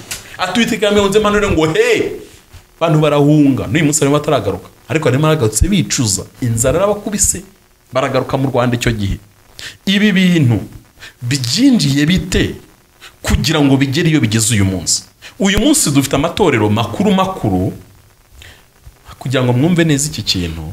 Sibyo ko na byo natangiye kubona hari ijambo ryitwa okuminizme ni, ijambo ry'iricurano ryo gu iyo urisomye n'amateka yaryo cyatumye papa rishyiraho kuko ryashyizweho n'abaroma ni ugufata ngo abanyamwuka cyane n'abanyantege nke mu mwuka bakabahuriza ahantu hamwe. Niki ijambo okiminizme ni ijambo ris- risomwa mu buryo bwinshi. Harimo asoma ekiminizme okiminizme n'abongereza bavuga nabi ikinyarwanda ntimungayiri iryo jambo ni, ijambo baremye ariko bisa nk'aho ari ari muvoma bari bakoze. Ni ikintu kiliziya gatolika yakoze igambiriye abakatolika bakunda kunduka ngo bivuga nabi ariko ni ukuri ko imana nta dini ngewe mvuga nabi. Kuko nta dini rimwe ryantumye ni na yo mpamvu nkubwira ngo nushaka nawe mu gitondo urushinge wawe mu rugo. Ubwire umugore wawe umubwire uti we madamu uri umudiyakoni ngewe mugabo ni nge pasitori abana ni abaririmbyi n'abakristo. Ubwo famiye zacu n'iziteranye zere eshatu. Tuba dufite itorero rigizwe n'abantu nka mirongo. Ibyo birahagije. Uko ni uko amadini avuka ntibazababeshye ngo umuntu akubwira ngo imana yamenye ngo ninde ishinge byashoboka ko imana yabwira umuntu ngo nashinga idini. Ariko nyuma bakazaribohoza ryahoze ari poropati y'imana. Kubohoza si ijambo abanyarwanda bumva hari umutaryumva bararishimuta imana atangije ino poroje ari iy'imana. Ariko ya poroje imaze kuba yabona yaba ibiryo abantu barayibohoza bayigira iyabo. Birashoboka. Ni ko inkomoko y'amadini menshi muzi yatangiye. Ukumva ngo pamfe yatangira umukozi w'imana. Ariko aho bigeze asiga akora satani. Ukibaza ubundi yashifutinze ryari? Yavuye mu gukorera imana ryari? Hari umupasiteri umwe bajya bavuga ntabwo ndi bumuvuge. Uriya mupasiteri tumuzi ayobora icyumba cy'inyarugenge. Ati wa mugwaho yari umukozi w'imana waka amavuta. Atari uyu munsi asigaye ikindi kintu ntavuze ukibaza uyu muntu yashifutinze ryarabivamo nta kindi. Ni uko yeremiya ni we wanditse aravuga ngo abantu baranyimuye bakoze ibyaha bibiri. Baranyimuye. Ari njyewe soko y'ubuzima. Baragenda ngo bifukurire ibitega bitabasha gufata n'amazi. Ni nk'ibintu nyine nk'ibigunguru cyangwa ibirobo bacukura ngo biremere amazi yabo rero ibintu by'amadini mukwiye kubyitondera kuko ntimuzi impamvu pamfili yashifutinze akava mu gukorera imana mwari mumuzimo uyu munsi akaba ari kumubona asiga afite izindi mbaraga. Imbaraga za pamfili yarasengaga mu izina rya yesu ariko uyu munsi asiga afite amavuta. Abasiga. Uyu munsi asigaye afite umwuka ati ibi bintu pamfili yashifutinze ryari? Mukwiye kubyitondera kuko ntimuzi ko yabikoze. Icyo yakora mu muzi kera yuzuye umwuka wera akora umukozi w'imana ariko pamfili uyu munsi nawe ntimumuzi kandi abantu barashifutinga none se nimurebe ibi bihugu byinshi tugenda twumvamo amakudeta bigenda gute? Mba nari perezida uri visi perezida wanjye. Turi mu ishyaka rimwe. Ugahita ubona hari ibitagenda ukavamo ukajya gushinga iryawe ejo bundi tuzarwanira mu matora. Hanyuma ninsinda cyangwa ugatsinda. Abaturage bazapfa. Abazagushyigikira abari mu ishyaka ryawe nzabica cyangwa abari muri ryanjye nawe uzabica. Ibi bintu bitangira gute ko abantu bahoze mu ishyaka rimwe? Ari bo baza tugira ati hey ishyaka ryacu hey ishyaka ryacu. None byagenze gute kwa ngo bo ubwabo bashwane niba mutabasha gusobanukirwa ikintu cyo inyuma y'ibyo bintu ni uko satani iteka ryose ashaka ibice. Ahora ashaka ibice. Tugaruke kuri iki kintu cy'ibi bizira tugenda tubona byinjira byinjira. Birinjira gute? Ahera. Hari ibintu bitakorwaga mu rusengero. Uyu munsi isigaye bikorwa mu rusengero. Kugeza ubwo njyewe nigeze nabibona kuri televiziyo y'u rwanda. Ni umugabo umwe w'umuhinde ukomeye cyane yaje mu rwanda. Azenguruka insengero hafi ya zose. Ayoboye ari kumwe na delegasiyo ariko agahagarara ku ruhimbi. Abapasiteri bakaba bamwicaye hariya bakamuha mikorofone akababwira. Iki kintu umuntu yagitegereza nk'ikintu cyoroshye uyu muntu iyo ahamagara abana bakristo akabajyana muri stade. Nta kibazo. Ariko yagiye ahagarara ku ruhimbi mwe bapasiteri bamwicaye hariya. Ni umuhindo. Ibintu ari kuvuga n'ubundi bisa nk'iby'iwabo mu buhindo icyo bikora bifitiye inyungu eh, rusange abaturage.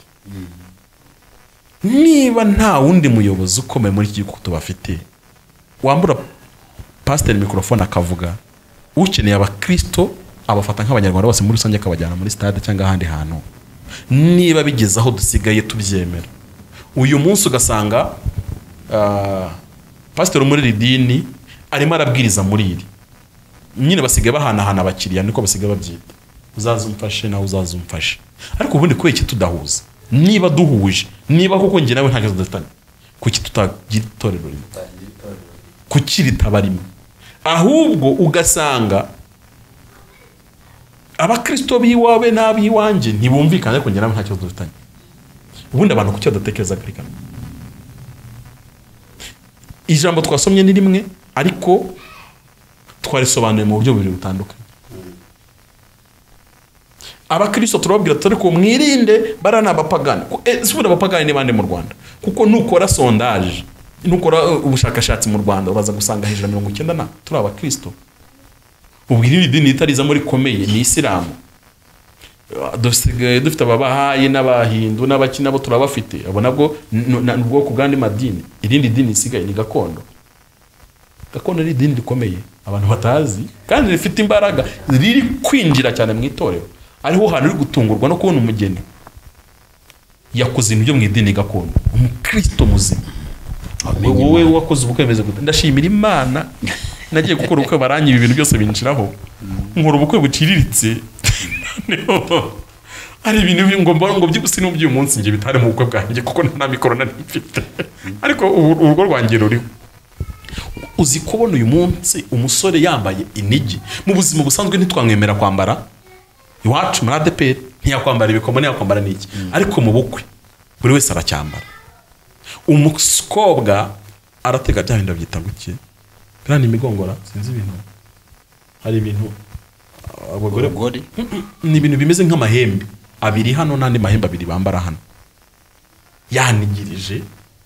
Abagabo bose bagiye noneho nta wambaye ipantaro bambaye ibintu bimeze nk'amakanzu n'imikenyero. Biri aho ngaho bose bari muri muri eh, bya bikweto byo mu modoka ni ibihe byo mu mapine.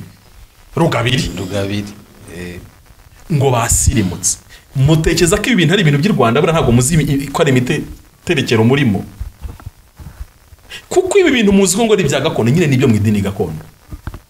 Biriya bintu ni byo mu idini gakondo ababikora bazi ibyo barimo. Iyi migongo iyi mitako y'imigongo muri kubona mu nsengero hafi yose bari gutaka. Iyi mitako yose ya yingiyanga bari kudekora mu nsengero ni imitako y'abashinwa y'imyizere nk'uko umusaraba wacu ku bakristo umeze murifata nk'ibintu byoroshye ariko buri kintu cyose kigira imbaraga. Reka mbabwire akantu gatuma ibinya mbivuga mbabara. Yego. Hari inkuru nasomye mu gitabo cya samweri Sam- samweri amaze kwimika dawidi byatumye dawidi umwuka w'imana amuzaho cyane ariko ngo atsinze goriyati abantu baramushima sawuri ararakara. Sawuri yahize dawidi ngo amwice. Umunsi umwe dawidi arahunga ahungira i beteri sawuri amenya ko ariho ari. Ngo agenda agiye kumwica. Yageze ku musozi w'i beteri sawuri arahanura ni we muhanuzi wakoze iki kintu wenyine muri bibiliya. Yamaze iminsi itatu ahanura yigaragura hasi yambaye ubusa. Nta wundi muhanuzi arakora icyo kintu. Simbizi abantu mujya mugira network nawe uri umuhanuzi mwese murabahanuza ndabizi. Niba wari wagira network yahanura iminsi itatu idacitse. Ubundi icyo kintu erega iminsi itatu ni amasaha makumyabiri n'ane ukongeraho makumyabiri n'ane ukongeraho makumyabiri n'ane akaba mirongo irindwi n'abiri. Network idacitse. Ubundi buri muntu avugaga ibiki. Ako niko kabazo ka mbere kandi igitangaje. Yahanuriraga dawidi. Iminsi itatu. Noneho iyo nkuru ikintu nyi- nyikuramo. Sawuri ngo arangije guhanura aramanuka ageze ku munsi ngo umutima wo kongera kwica dawidi urongera urahaguruka. Iki kintu cyanteye ubwoba. Nibaze se habaho umusozi umwuka wera ashobora kuza agaturaho ku buryo uwugeraho imbaraga z'imana ukazifiringa bikabaho ese ubwo niba bibaho ntabwo haba hariho n'umusozi? Abadayimoni baturaho ku buryo kuwugeraho abadayimoni bumva nk'ikintu gifatika ku buryo ucyumva. Bibaho? Cyane. Nabitekereje rero bigenze gute? Mperutse icyangugu. Nkunze kujyayo kenshi kandi imana ikamera ngo ningende nkagenda neje ikamera ngo ningende nkagenda.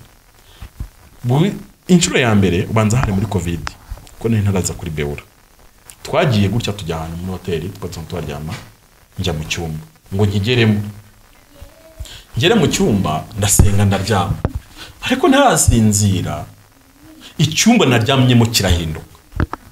Murebe ko turi hano turi turi parafu imeze gutya n'amatara yaka. Icyumba nari nimo nisanga kibaye nka za nzu za kera zabagamo parafu z'ibi bintu ariko bibamo umurayi utate utakoramo ngo uzanawuvanemo ngiye kumva numva amajwi arimo aravugiramo.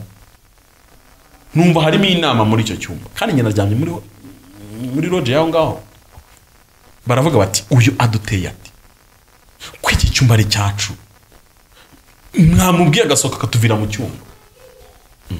erega biranyobera. Ndabaza neze muri bande? Barambwira ngo twaturutse hakurya y'ikivu. Ntabwo bavuze ikivu. Twaturutse hakurya hariya amazi. Ubwo urumva andi mazi banyerekaga ni ikivu ni kiri hafi aho bati dusohokere erega ntabwo nasinziriye twaraye muri ibyo. Narabyutse mbaza ba ndavuga nti ibi ni ibiki?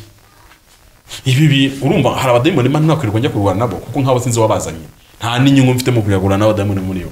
Lodge kiba nawe icyumba cyanyu cyo nyine ntabwo ngisubiramo. Nta mfite imbaraga zo kujya guta kuri bino ahantu isongeye kuhasubira naje kujya ahandi. Ejo bundi nabwo nkongeyo njya ahandi no nyine hatari aho.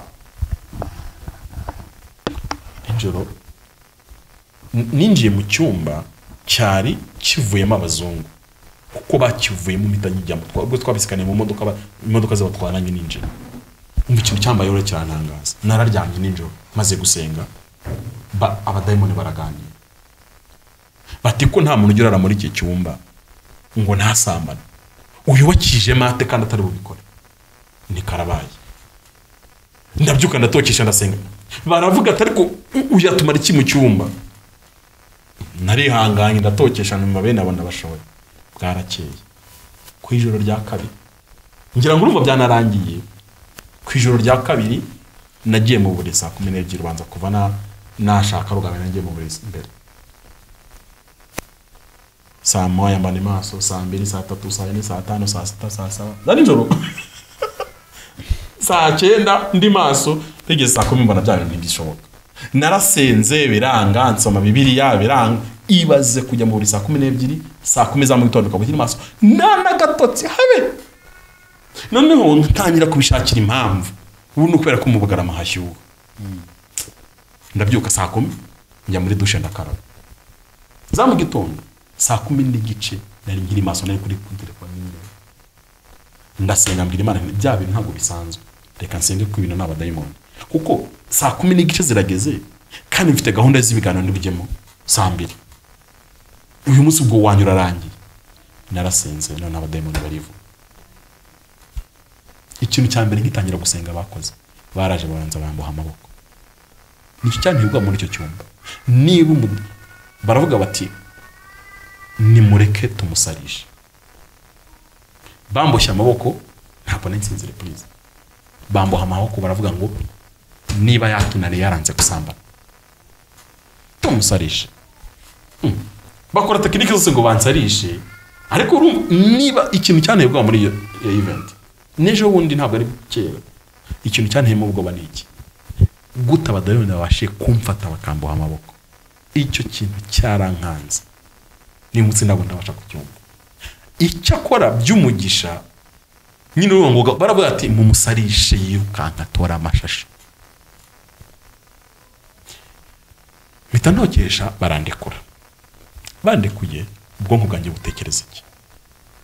Abadayimoni bafite imbaraga zingana gute babasha kumbaho? Bakamfata amaboko ndi gusenga bakamfata amaboko. Ngo bakambaho ni uko imana nyir'ubutware iturinda ibihe byose. Yandi magambo ubu ngiye gutoragura amashashi. Nari nyatoye. Nimutekereze inkuru izagera ku mugore wanjye nagiye icyangugu mu murimo w'imana. Ndatoraguye. Kuko urumva icyo nzize nzize ko ngo nanze gusambana. Kandi ngo nta muntu ugomba kuba muri icyo cyumba ntabikore. Bivuze ko sowati nashobora gusambana nkaba mbakoreye igitambo cyabo nkabaha amahoro. Wenda bakandeka nkaryama amahoro. Ariko urumva kondisiyo ibaho ni uko ngomba kubikora kandi ntabyo ndi bukore ikindi niba byanze ni ukubera ko ngomba bagomba gukora ibishoboka byose bakansaza. Ibyo ngo byo gusara byanze noneho umaze ku- kubiyamura amaboko ati uko biri kose. Mumwinjirire mu mutungo. Akantu ke kose mugakoreho ubwo nabyutse nsenga nkumuha amasengesho. Urumva nawe nahise nkomereza kuva nasenze amasengesho mpita ninjira kuko hari imana yambwiye ati ibi bintu bi- imbaraga zanyu z'uyu murimo ziba mu masengesho gusa nta handi. Mpita nkomerezaho amasengesho cyakora nimuka. Abandi ntabwo aba badayimoni n'ubundi sinibujye kurwana nabo muri iki cyumba. Ikiza ni ingendo byanteye gutekereza rero kuri izo nkuru mbabwiye. Niba bishoboka ko nshobora kuva i kigali nkajya mu murimo w'imana i cyangugu nzi ko ndi mu murimo w'imana nkisanga mu cyumba ntari mu bihe bakanshobora ejo muzumva ngo pamfile agiye mu murimo aterayo umukobwa inda. Nyamara pamfile akubwira ati buri mu buzima bwanjye sinjya mbikora. Nange sinzi ukuntu byagenze. Bikwiye gutuma abarokore bigengesera mu bintu byabo byose mu buzima bwabo bwose. Niko nshobora kuzaza kugusura kumbi wawe nyine wamaze kohereza satani. Nkahinjira mpava nakongejwe. Nk'uko ushobora kwinjira iwanjye ukumva peresanse y'imana twagiye tubibona mu bihe byiza by'amasengesho twasenga ukumva imana yururutse abanyabyaha barize ntawe wabakozeho. Ukavuga ngo umuntu arashya njye nigeze nabibona iwacu mu cyumba cy'amasengesho. Umuntu arashya avuza induru bamumenaho amazi biranga. Kubera ibyaha gusa. Yari yaranze kwiyana kandi abikomereje mu itorero ngo imana ihitamo kumutwika mu iteraniro nabibanyisha amaso hano ku cyumba cyo kuwa kane mu ruvumera. Arashya. Rwose aricaye inyuma yanjye ku ntebe. Biba ngombwa ko washya ajya imbere. Ashya. Bamumenaho n'amazi biranga ubwo yahiye nta bandi banyabyaha barimo. Ntabwo wamenya iby'imana. Na cyane ko n'uwo muriro ntawe twe twabonaga. Ariko ngo yari arimo arashya kugeza ubwo bamujyanye aratura arihana anatubwira uko byagenze byose. Rero ibi bintu tubonesha amaso inyuma yabyo haba izindi imbaraga zibibamo. Ari na cyo kintu gikomeye dukwiriye kwigengesera. Uyu munsi ndabivuga nabisubiramo. Bayitubazi bagenzi banjye mwarakara mwantuka. Namwe turicaranye ko tuzayifatanya kandi namwe murayifite izi kamera mubona zicaye imbere yacu. Inyinshi bazijya kuzisabira imiti. Ku buryo uzayicara imbere ubugingo bwawe ukabusarura ari na cyo gikwiye kwitonderwa. Bantu twirirwa twiruka ku mayutubi cana twiruka ku mayutubi cana hari nyine reka mvuge ngo zifite amavuta. Ariko aya mavuta ntuzi niba ari aya moteri niba ari aya feri. Ntuzi niba ari na vidanje ibi bintu niba bigeze gutya. Umuntu yarambajije ngo kuki mukunda kuvuga ibintu bya satani? Cyane satani ashimana imbaraga. Yabaze n'isumire satani uramuzi ngo hoya niyo mpamvu kuba utamuzi niyo mpamvu ngomba kubikubwira kuko ntuzigera urwana n'uwo utazi uzayirwanya wowe ubwawe. Ejo bundi mu rwanda habaye inama ya sayibata iyi niyo nama yiga ku mutekano wo gucunga ibintu bijyanye na interineti No- niba mwarayikurikiye abanyarwanda namwe wenda mutari mu rwanda muzakurikiye kuko n'inkuru zirahari. Mu bibazo bafite. Bavuze amabije agendaho nyine wa mutekano wo mu kirere. Ni nabwo numvishe beneri ivuga ibitero bayitera bashaka kuyiba kuko nta munyarwanda nta n'umuntu watinyuka kujya kuri beneri n'imbunda n'amaguru ngo ajyeyo arabizi neza ko bitakunda. Aca kuri interineti na satani yamaze kubona ko ibitero byinshi bize bigaragara ntabwo bikidufata. Aca mu mwuka. Kuko birashoboka ko pamfira wowe utawasambana mu buzima waranze. Uzajya urarusambana n'abadayimoni kandi wumve nta cyabaye. Vuga ati kwa jinara yesu. Toka. Ariko cyabaye hari imbaraga yagiye. Cyakwatatse Eh, n'utundi tuntu turi aho ngaho. Ntabwo nzi wenda uko turi busoze iki kiganiro. Reka pamfi buriya buriya uwo muntu uvuga ngo ni satani niba ari umuntu niba ari ikiremwa ah, nta kundi kumutsinda. Kuko afite imbaraga uri no kubyemeza ko afite imbaraga. Cyane kumutsinda ni ukuba ufite umurusha imbaraga. Ari we kirisito ari we kirisito ni ni ni ni ni ni ipfundo. Rimwe na rimwe dushobora kubivuga gutya abantu bakavuga bati abadayimoni njye nabirinda gute? Izo mbaraga za satani nazirinda gute? Nkunda kubivuga nkunda kubisubiramo. Nta mbaraga za satani zihari igihe hari imbaraga z'imana. Ntabwo bishoboka yego. ntibikunda Yego. ntibikunda nubona rero izo mbaraga zakwatatse njye mpamya ko zitaba. Sinzi ikiganiro mperutse gukorana navuga nti satani rwose ntawe uhari ntawe uhari ku muntu ufite rega izo mbaraga z'imana. Yego. Eh, iyo habayemo imana rero ije satani aragenda. Niko iyo bigenda. Imana igiye satani araza niko niko kuri Yego. nuko biba byubatse. Rero abantu bashobora kwibaza bati se twebwe twahungira he? Izi mbaraga. Ko zimfata buri munsi ko nta handi guhungira. Ni ukuzana umuntu ufite imbaraga kuziruta izindi. Yego. Niko byubatse niko binameze. Kandi nta handi wahurira nabo. Ni mu mwegere. Yego. Niwe Na- na- naho naho muhurira nawe ni uguca bugufi ukamwegera ukamuhamagara akaza. Kandi we wowe nta rutambwe uri butere Nu- nunarutera urasanga wateye rutoya Umwe rutambukira atere mirongo we muhamagare. we muhamagare. Aze. Agusange. Nimubana abadayimoni bazahunga.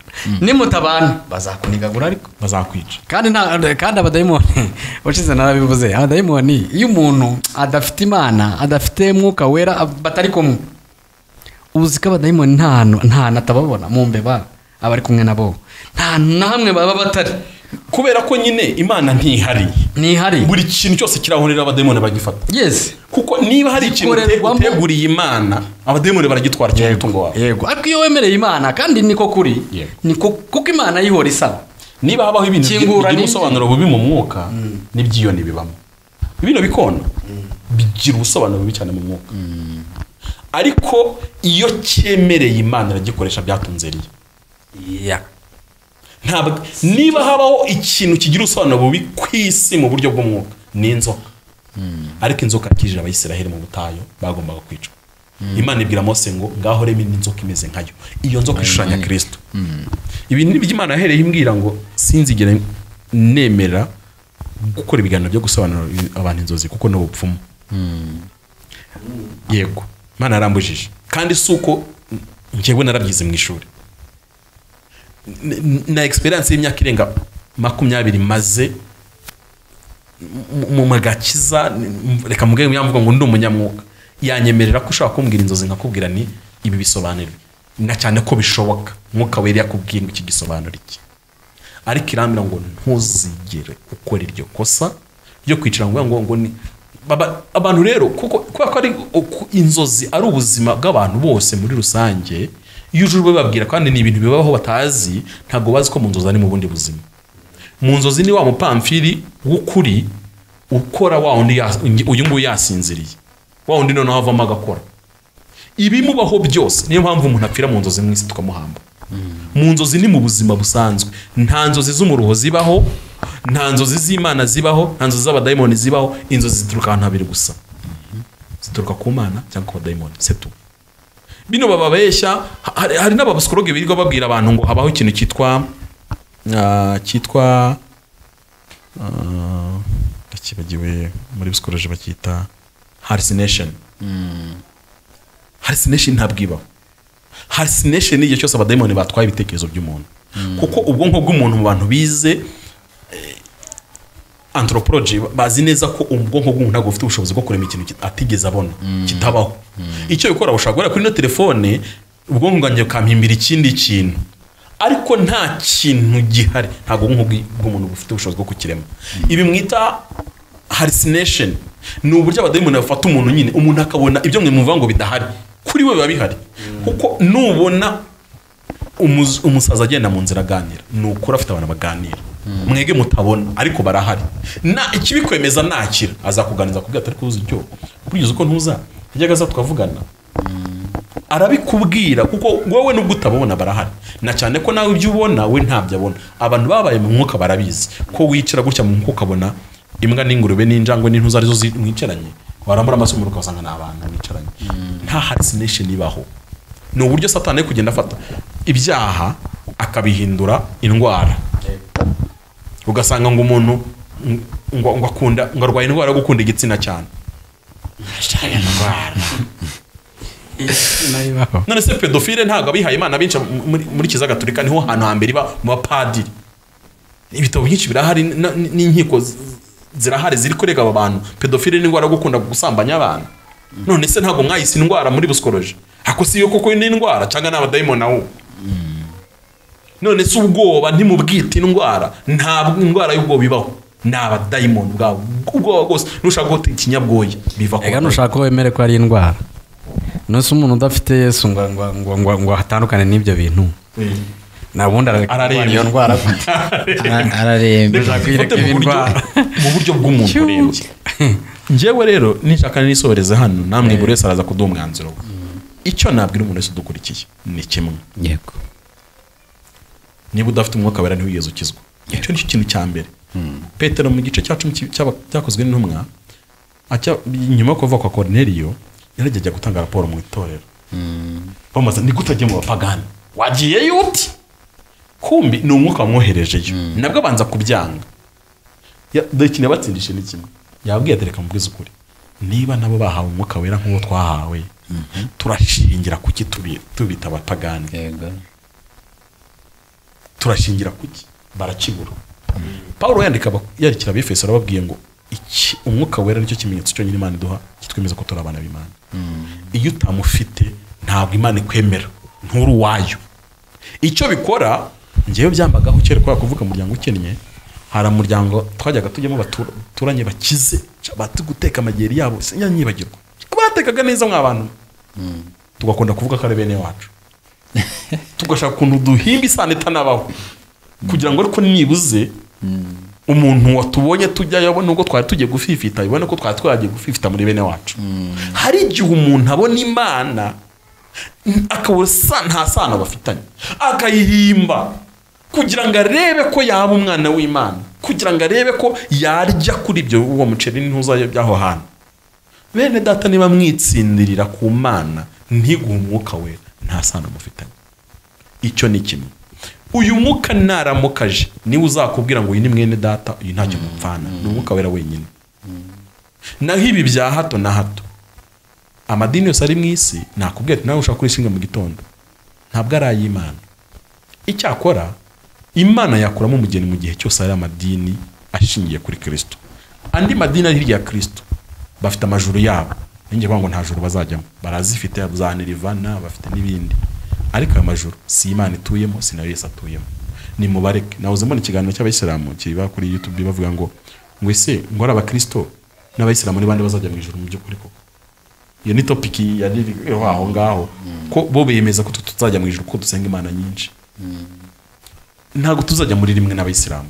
Nababajwe n'umuntu ndaza kumukubwira zo kunyibutsa mukubwire uranamuzi cyane kubera niba ari ibikomere byo mu rugo yagize niba ari cya kibazo cyaba umutsima wahiye igice kimwe iyo usubijemo uhita ushirira ahandi kugira ngo ahandi hashye hahandi hahita hashirira dufite abakristo bafite ibikomere mu madini kugeza ubwo basigaye ba- banga amadini aho ava akagera. No gushaka kuyavuga nabi ntabwo ibi tubivuga kuko twakomerekejwe n'amadini. Kuko uko twicaye hano imbere twese nta n'umwe utenze mu itorero. Ngo wenda mutekereze ko uyu munsi ryanga dutenga. Kuko ngewe nushaka muzantenga igihe cyose mushakira muzabikore. Kubera ko nta dini na rimwe nashinze. Ariko sinzemera umuntu wese ukoresha ibinyoma bitari bya bibiliya. Muzambabarire banyamadini mudusobanurire ibintu byanyu by'amaturo no kubona abapasiteri bahembwa. Pasiteri uhembwa uwakoreye ndi tubwishe ukuri pasiteri wese ufata umushahara.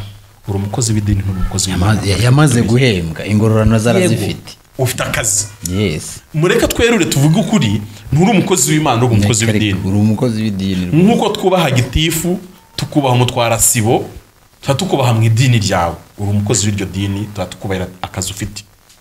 Ariko witubeshya kuri umukozi w'imana. Nta mukozi w'imana uhembwa nta n'undi twabonye. Muri bibiri ngo avuge ngo wari afite umushahara ungana gutya. Uyu munsi iyo mishahara niyo mupfa ya hato na hato.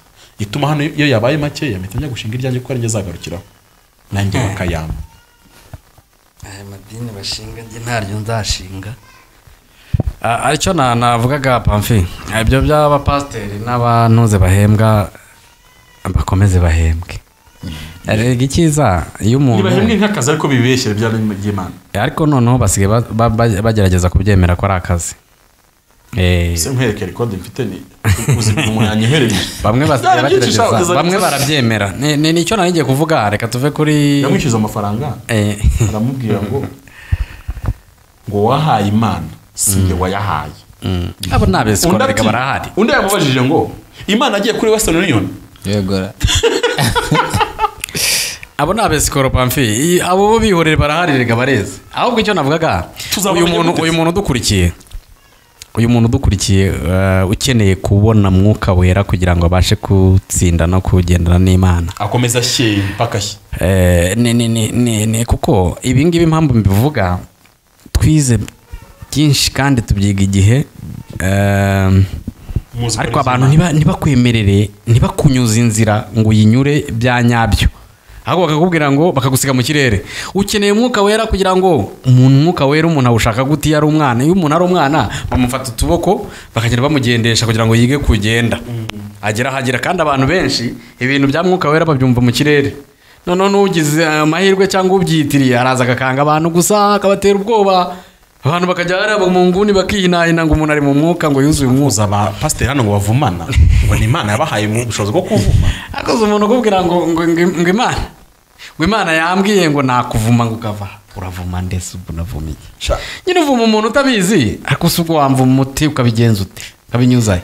Imana yo mu ijuru ntabwo yabikora ahubwo hari izindi mana zitanga ubwo bushobozi. Aha. Twibyirengagiza eee eee uwo waje muri ubwo buryo. Ariko njyewe icyo icyo gituma mpagarara kuri ibyo. Mvuga ngo ntabwo wamvuma. Ni uko nahuye nawe. Nahuye n'umugabo urega uruta izo mbaraga zose. Yego. Niba twaracakiranye urabihuza urabikuraho urabinyuza. Mu yandi magambo. Icyo na- navugaga ni ni wenda wanadufasha tunasoza abantu babona mwuka wera gute? Umwuka wera ashakwa gute. Kuko abantu bafite uburyo bashuka abandi ngo ntibashake umwuka wera ariko ntibabi- ntibabibanyuzemo mu nzira nyakuri. Ngo barabarambikaho ibiganza Eh, barabasiga eh, amavuta. ngwino ngwino iwacu ni ho wabona umwuka wera haguruka uvuye hano ukajya hano. Ibyo bintu byo kuzungazunguza abantu ni za nyungu abantu baba bakeneye ariko ntabwo baba- babanyuza mu nzira zabo. Z'umwuka wera Abantu ba- nyakuri. abantu muzumvira kuri cya kintu gikomeye nabitinyaho muri adeperi umunsi ko isigaye ijya gusohoka igasiga ituye. Igasiga. Mugasiga mutuye. Afite ikintu ki- gikomeye ki afite apfa n'amaturo amaturo baretse abayarya bakarya ibintu byabo ko baka ibihembo baka wa mugani wa ntuze wa mugabo ko ari wavuze ati kendya amaturo ariko ariko ntacyo byaba bimaze dukomeje kubiberekera. Ntabwo ngewe nanze ko bayarya. Eh. ni ukuri reka nkubwize ukuri ntajya mbwira abantu bose. Eh. ariko utumye mbivuga ko ngo atazajya n'umuntu utekereza ko mfite ikibazo n'amaturo eh. Ngewe pamfire uhagaze imbere yanjye. Nigeze natura umushahara wanjye w'umwaka wose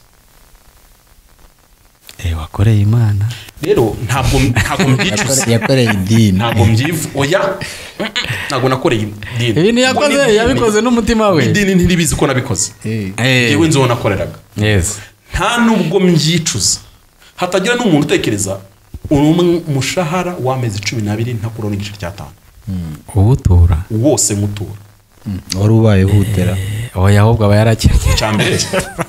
Uko kubaho ko nabagaho nakomeje ubuzima.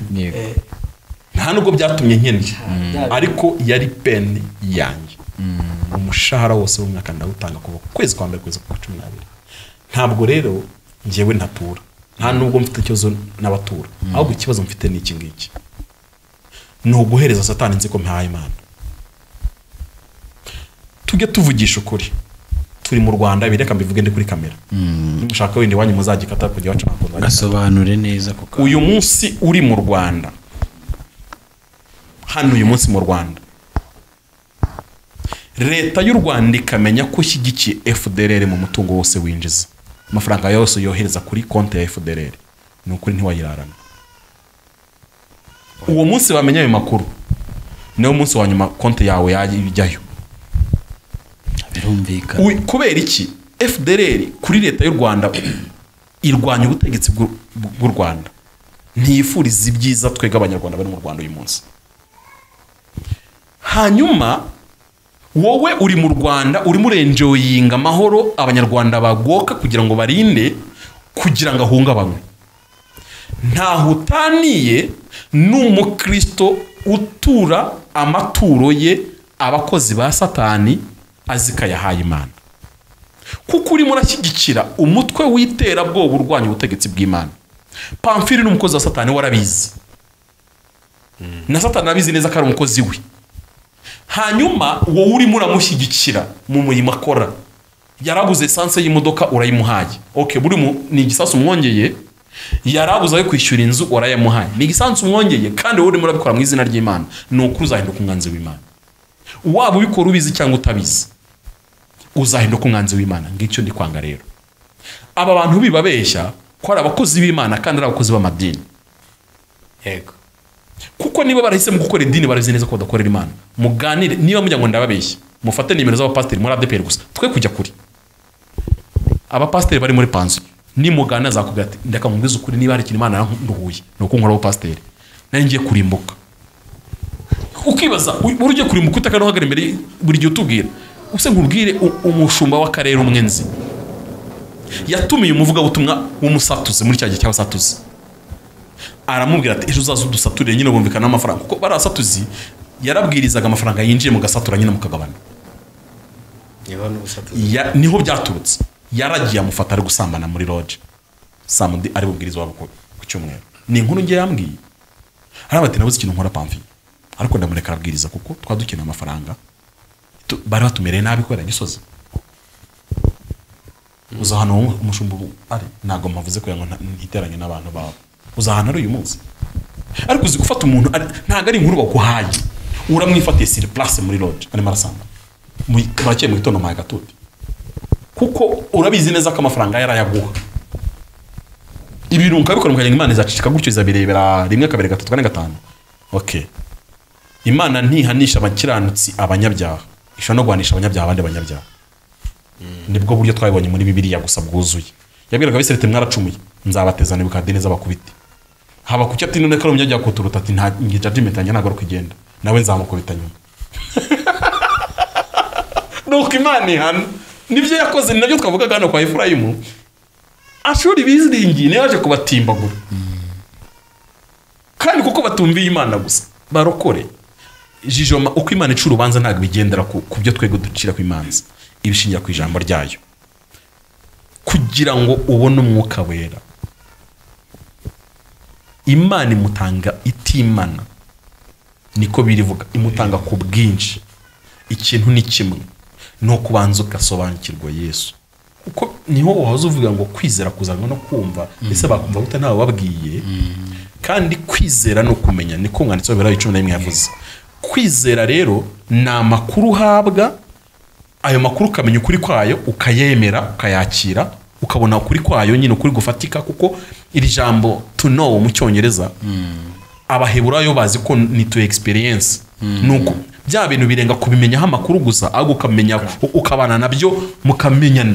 Naho ri- niyo mpamvu rikoreshwa ku mugore n'umugabo. Umugore ngo yamenye umugabo we. Ntabwo umusore ntamenya umukobwa kuko kumenya ni ukubana ni ikintu kinini. Ni uko yesu aza mu buzima bwawe mukabana mukabana ni bwo yesu mumenya ukamutandukanya n'ibindi bintu biri hano hanze bimwitirwa na cyane ko aba yesu na arisenali ifite umukinnyi witwa yesu. Gaburiyeli iramufite. Ushobora guhusenga ugasanga urimo urasenga mu izina ry'uriya mukinnyi wa arisenali mujye mwitonda kuba uvuga yesu ntabwo ari igitangaza. N'abafite imisaraba icuritse nabo bat- batubwira ko ari umusaraba wa yesu. Kandi bazi icyo gucurika ko umusaraba wa- bambaye bivuze. Bantu nimuhumuke. Nimuve mu bintu by'ubujiji mutwarwamo n'amadini.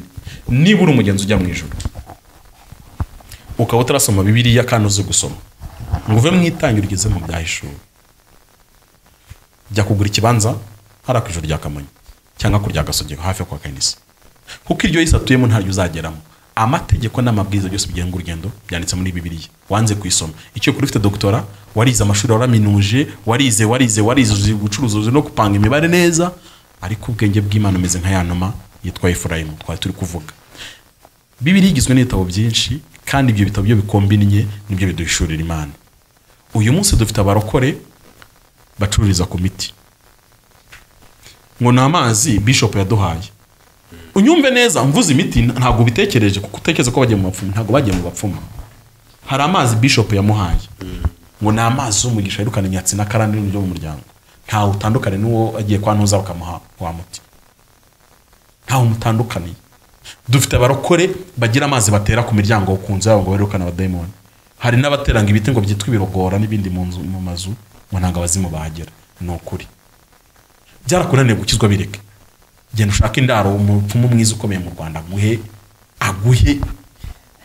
Yego nabiguhe u- ubitunge ubizi neza ko ari nyabingi utunze.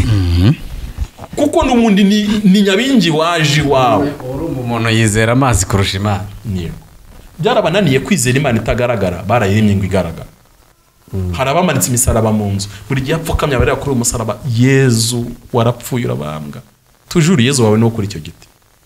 Icyabikwemeza ko biremereye umanuye kiriya giti cy'uriya musaraba iwe mu nzu. Amahoro arabura byakomera. Ni ikikumenya ko imyizerere yawe ntigeze ikizwa. Icya kabiri amarangamutima yawe yanze. Imitekerereze yawe ntiyakijijwe. Kuko umuntu akizwa ibice bine. Akizwa imyizerere imitekerereze amarangamutima n'imyizerere. Uracyafite imitekerereze ya gipagani cyepfiriye iwanyu cy'uko ibintu byose mugomba gukora hagomba kugenda ibitambo. Ndatanga igitambo cy'umugore wanjye n'abana kugira ngo babe amahoro. Bishop aya mafaranga yafata nk'igitambo usabire umuryango wanjye. Niba ugenda muri iyo mitekerereze byaba byiza ugiye no kwa nyabingi. Byose ni kimwe. Amarangamutima yawe niba adakijijwe abagore bose ukibabona babonamo ibitsina gusa ko babona nk'abadamu bo kubahwa. Abagabo bose babonamo ibitsina kugira ngo babone nk'abagabo bo kubahwa. Amarangamutima yawe arapfuye. Ukunda ibyo ubonye byose ugenda usamira. Cya kane ibyifuzo byawe. Wifuza ibiki? Ndetse mana wampa iriya modoka wampa iriya nzu wampa uriya mugore mana. Ibyifuzo byawe byose ni ibyano mu isi. Byararangiye iwanyu ni hano nyine ukwiye ni gakondo? Ko wa mugani ukwiye kurwanira ubutaka? Nuza gutwara metero uzatera ingumi cyangwa ujye mu rukiko. Ariko abandi bavuga ngo dufite gakondo irutaho kuba nziza. Niyo barwanira ubuzima bwabo bwose. Ibyifuzo byacu birahinduka. Icyo ni cyo uzakubwira ko hanyuma igihe cyose pasiteri ahora aguhora imbere ibyo byose ni mpa ni mpa ni mpa ni mpa ni mpa ni mpa. Uzi umuntu ukubwira ngo nimuzane mujugunye ubukene bwanyu. Hano mu- muri aka gaturisho muramuha ngo murajugunye mwigize ni amadolari ni ama yero nama ngo ni- na- muze mujugunye ngo bukene ngo imana igiye kubavunjira. Iyi mana ihora muri betingi ni abadayimoni. Cyane ko muzi ko biri twemera gukina urusimbi urwo arirwo rwose. Hanyuma umukristo atandukanye n'abapagani. Nicyo kintu efurayimu yazize. Yivanze n'abapagani. Abona ibyo bakora abona uko barya abona uko bambara abona uko bagenda icyo bikora koko barasirimutse. Ndi umwe mu bantu bahamya mu isi ko ibyaha biryoha. Biraryoha ni na yo mpamvu abantu bose babikora. Babishaka cyangwa batanabishaka. Ariko ndi umwe mu bantu bahamya neza ibyiringiro by'ibyo twiringizwa n'ijambo ry'imana biri imbere ko biryoshye kuruta bino ari na yo mpamvu tugoka twiyambura ibi binezeza bya hano mu isi kugira ngo dusingire gakondo tutoho kuba nziza. Imana ibahe umugisha. Amen. Akoze cyane eh, turi mu gusoza ariko twagira ngo tuvuge kuri iki ngiki abantu twaganiraga namwe Eh, yesu aracyahari kandi ateze amaboko. Kugira ngo umwemera wese eh, umushaka wese eh, abashe kumubona. Ndabizi neza imana ntijya ibabara ngo igumeyo cyangwa ngo igire agahinda nk'ako tugira. We imbabazi zihoraho kuri we. Uwifuza wese kwakira uwo mwami. Amarembo arakinguye ntabwo turi bubwire aho uri aho uri wakakira yesu. Aho uri idini urimo ryose. Uko uko ntabwo tukubwira ngo uze hano nka bya bindi ariko kwakira yesu utaramwakira biroroshye kuko ni we arabishaka. Arabishaka kumwakira arakomanga ku rugi kugira ngo umukingurire. Kandi kandi eh, eh, hari n'abandi bantu bagira ibibazo. Uko yatsitaye agahita avuga ati natsitaye. Agahita amera nk'umuntu ucitse intege burundu. Imwe mu ntwari ikomeye cyane satani akoresha. Ni ni niyo ntwaro irusha izindi. Ni wa mwambi iyo wamaze kukwinjira ukabona ko birangiye apolo wabona arahagukubitira. Cyane. Ariko iyo uhagurutse ukavuga ati ndagukeneye mwana urahaguruka akakwakira kuko wabateze abantu ntibahumure. Yabaga basoma sinakubwiye ngo abantu basoma bibiliya izo nkuru umuntu ashaka kuzumva neza nasome ezekiyeli igice cya mirongo arasomamo umugezi w'amazi utemba uturuka mu ntebe y'imana. Uwo mugezi avugamo ngo wamezeho ibiti impande zombi. Ibyo biti byera urubuto buri kwezi. Wenda reka mbivuge mu mvugo yakumvikana mu kinyarwanda nubwo atari byo bibiri ivuga. Uku kwezi naho se- zeze voka mu gutaha zera amapera mu gutaha hera pome gutyo. Zera imbuto nyinshi nyine zera imbuto buri kwezi zitandukanye. Amababi yabyo niyo nshaka kuvuga. Amababi y'ibyo biti. Nayo gukiza amahanga niko birivuga. Niyo atwomora inguma zose z'ibikomere tugirira mu rugamba. N'ako gatabo k'umugenzi mukristo ngo yagiye kubona abona ishami rirahanyuwe ya mababi agenda yomeka hamwe hose apoloni agiye amukomeretsa. Ayo mababi ni imbabazi z'imana kuri uyu munsi. Uriya mugezi ni umugezi w'ubugingo ni kristo. Kiriya giti ubwacyo ni kristo. Ahora ahinduka mushya ku buzima bwacu uko bweze n'uko bukeye. Imbuto ze. Ubwiza bwa yesu imbabazi za yesu ubuntu bwe nizo ziriya mbuto zihinduka buri kwezi. Uyu munsi wari ukeneye yesu mu mbabazi wari umukeneye yesu mu rukundo wari umukeneye yesu mu- mu- mu- muri masi wari uko a- aza gutyo ariko ari amababi. Niba hari ikintu nkunda nkundira kiriya giti ni ariya mababi kuko ahita komora hari imiti bashyira ku bisebe ibisebe bigakira ko uburozi bukiri imbere. Ari amababi yabyo. Arakomora burundu. Niyo paparani yavugaga. Iyo usoma bibiliya rero aya mababi urayumva urayamenya. Kuko izo nkuru urazimenya ntabwo wumva ko ibintu paparani avuze ari icyuka wenda nk'igitekerezo yagize. Kandi izo nkuru ntabwo muri ntabwo njya numva barakorana zigisha bene zo uriya mugezi nyine iriya nkuru yari warusengereza cyereretswe kubera ko urimo imibare myinshi n'ibintu by'iyerekwa rikomeye. Ntabwo warokore kuko batakunze kwiga no gusoma ijambo ry'imana. Ntabwo kuzumva niyo mpamvu abarokore benshi atazi ari amababi ariko icyaha cyose wakora murayimaze igihe kinini nkora ubushakashatsi ku cyaha cy'ubutinganyi niba mu gakiza kibabarirwa. Natunguwe no gusanga kibabarirwa. Mu isezerano rya kera ntabwo kibabarirwa. Cyari kiza letaga wicwa. Nta gitambo kibaho cyabakuraga icyaha cy'ubutinganyi. Ariko amaraso ya yesu. Usomye abakorinto ba mbere gatandatu. Baza gusanga amaraso ya yesu akuraho n'icyaha cy'ubutinganyi. Rero icyaha cyose wakora muri ibi rimwe ararengera ngo satani yanyibishije ku kiranirwa kwanjye ashaka kunyihebesha. Mwumve neza abantu benshi bakora icyaha kimwe. Satani akabaye ntabwo imana kubabare n'ejo ntiwongeye se n'ubu urongeye? Oya ndabizi hari abantu benshi bahaguye aho hantu. Yego. Barahagwa rwose bahasiga. Ku buryo ahakomerekera igikomere kimwe we guhita yiheza agakomerekeramo byinshi. Yego. Akarangira n'ahapfiriye. Ni kwa kundi umukobwa asambana agahita avuga ati "Ubuse ndabigira gute? Reka nyikuremo urumva ni icyaha agiye kongera ku kindi cya cyaha gishobora kubyara ibindi. Yanze kuvamo. Reka ngereke kuri ntuzi. Yayimugerekaho akayemera. Agahita arongorwa na ntuzi.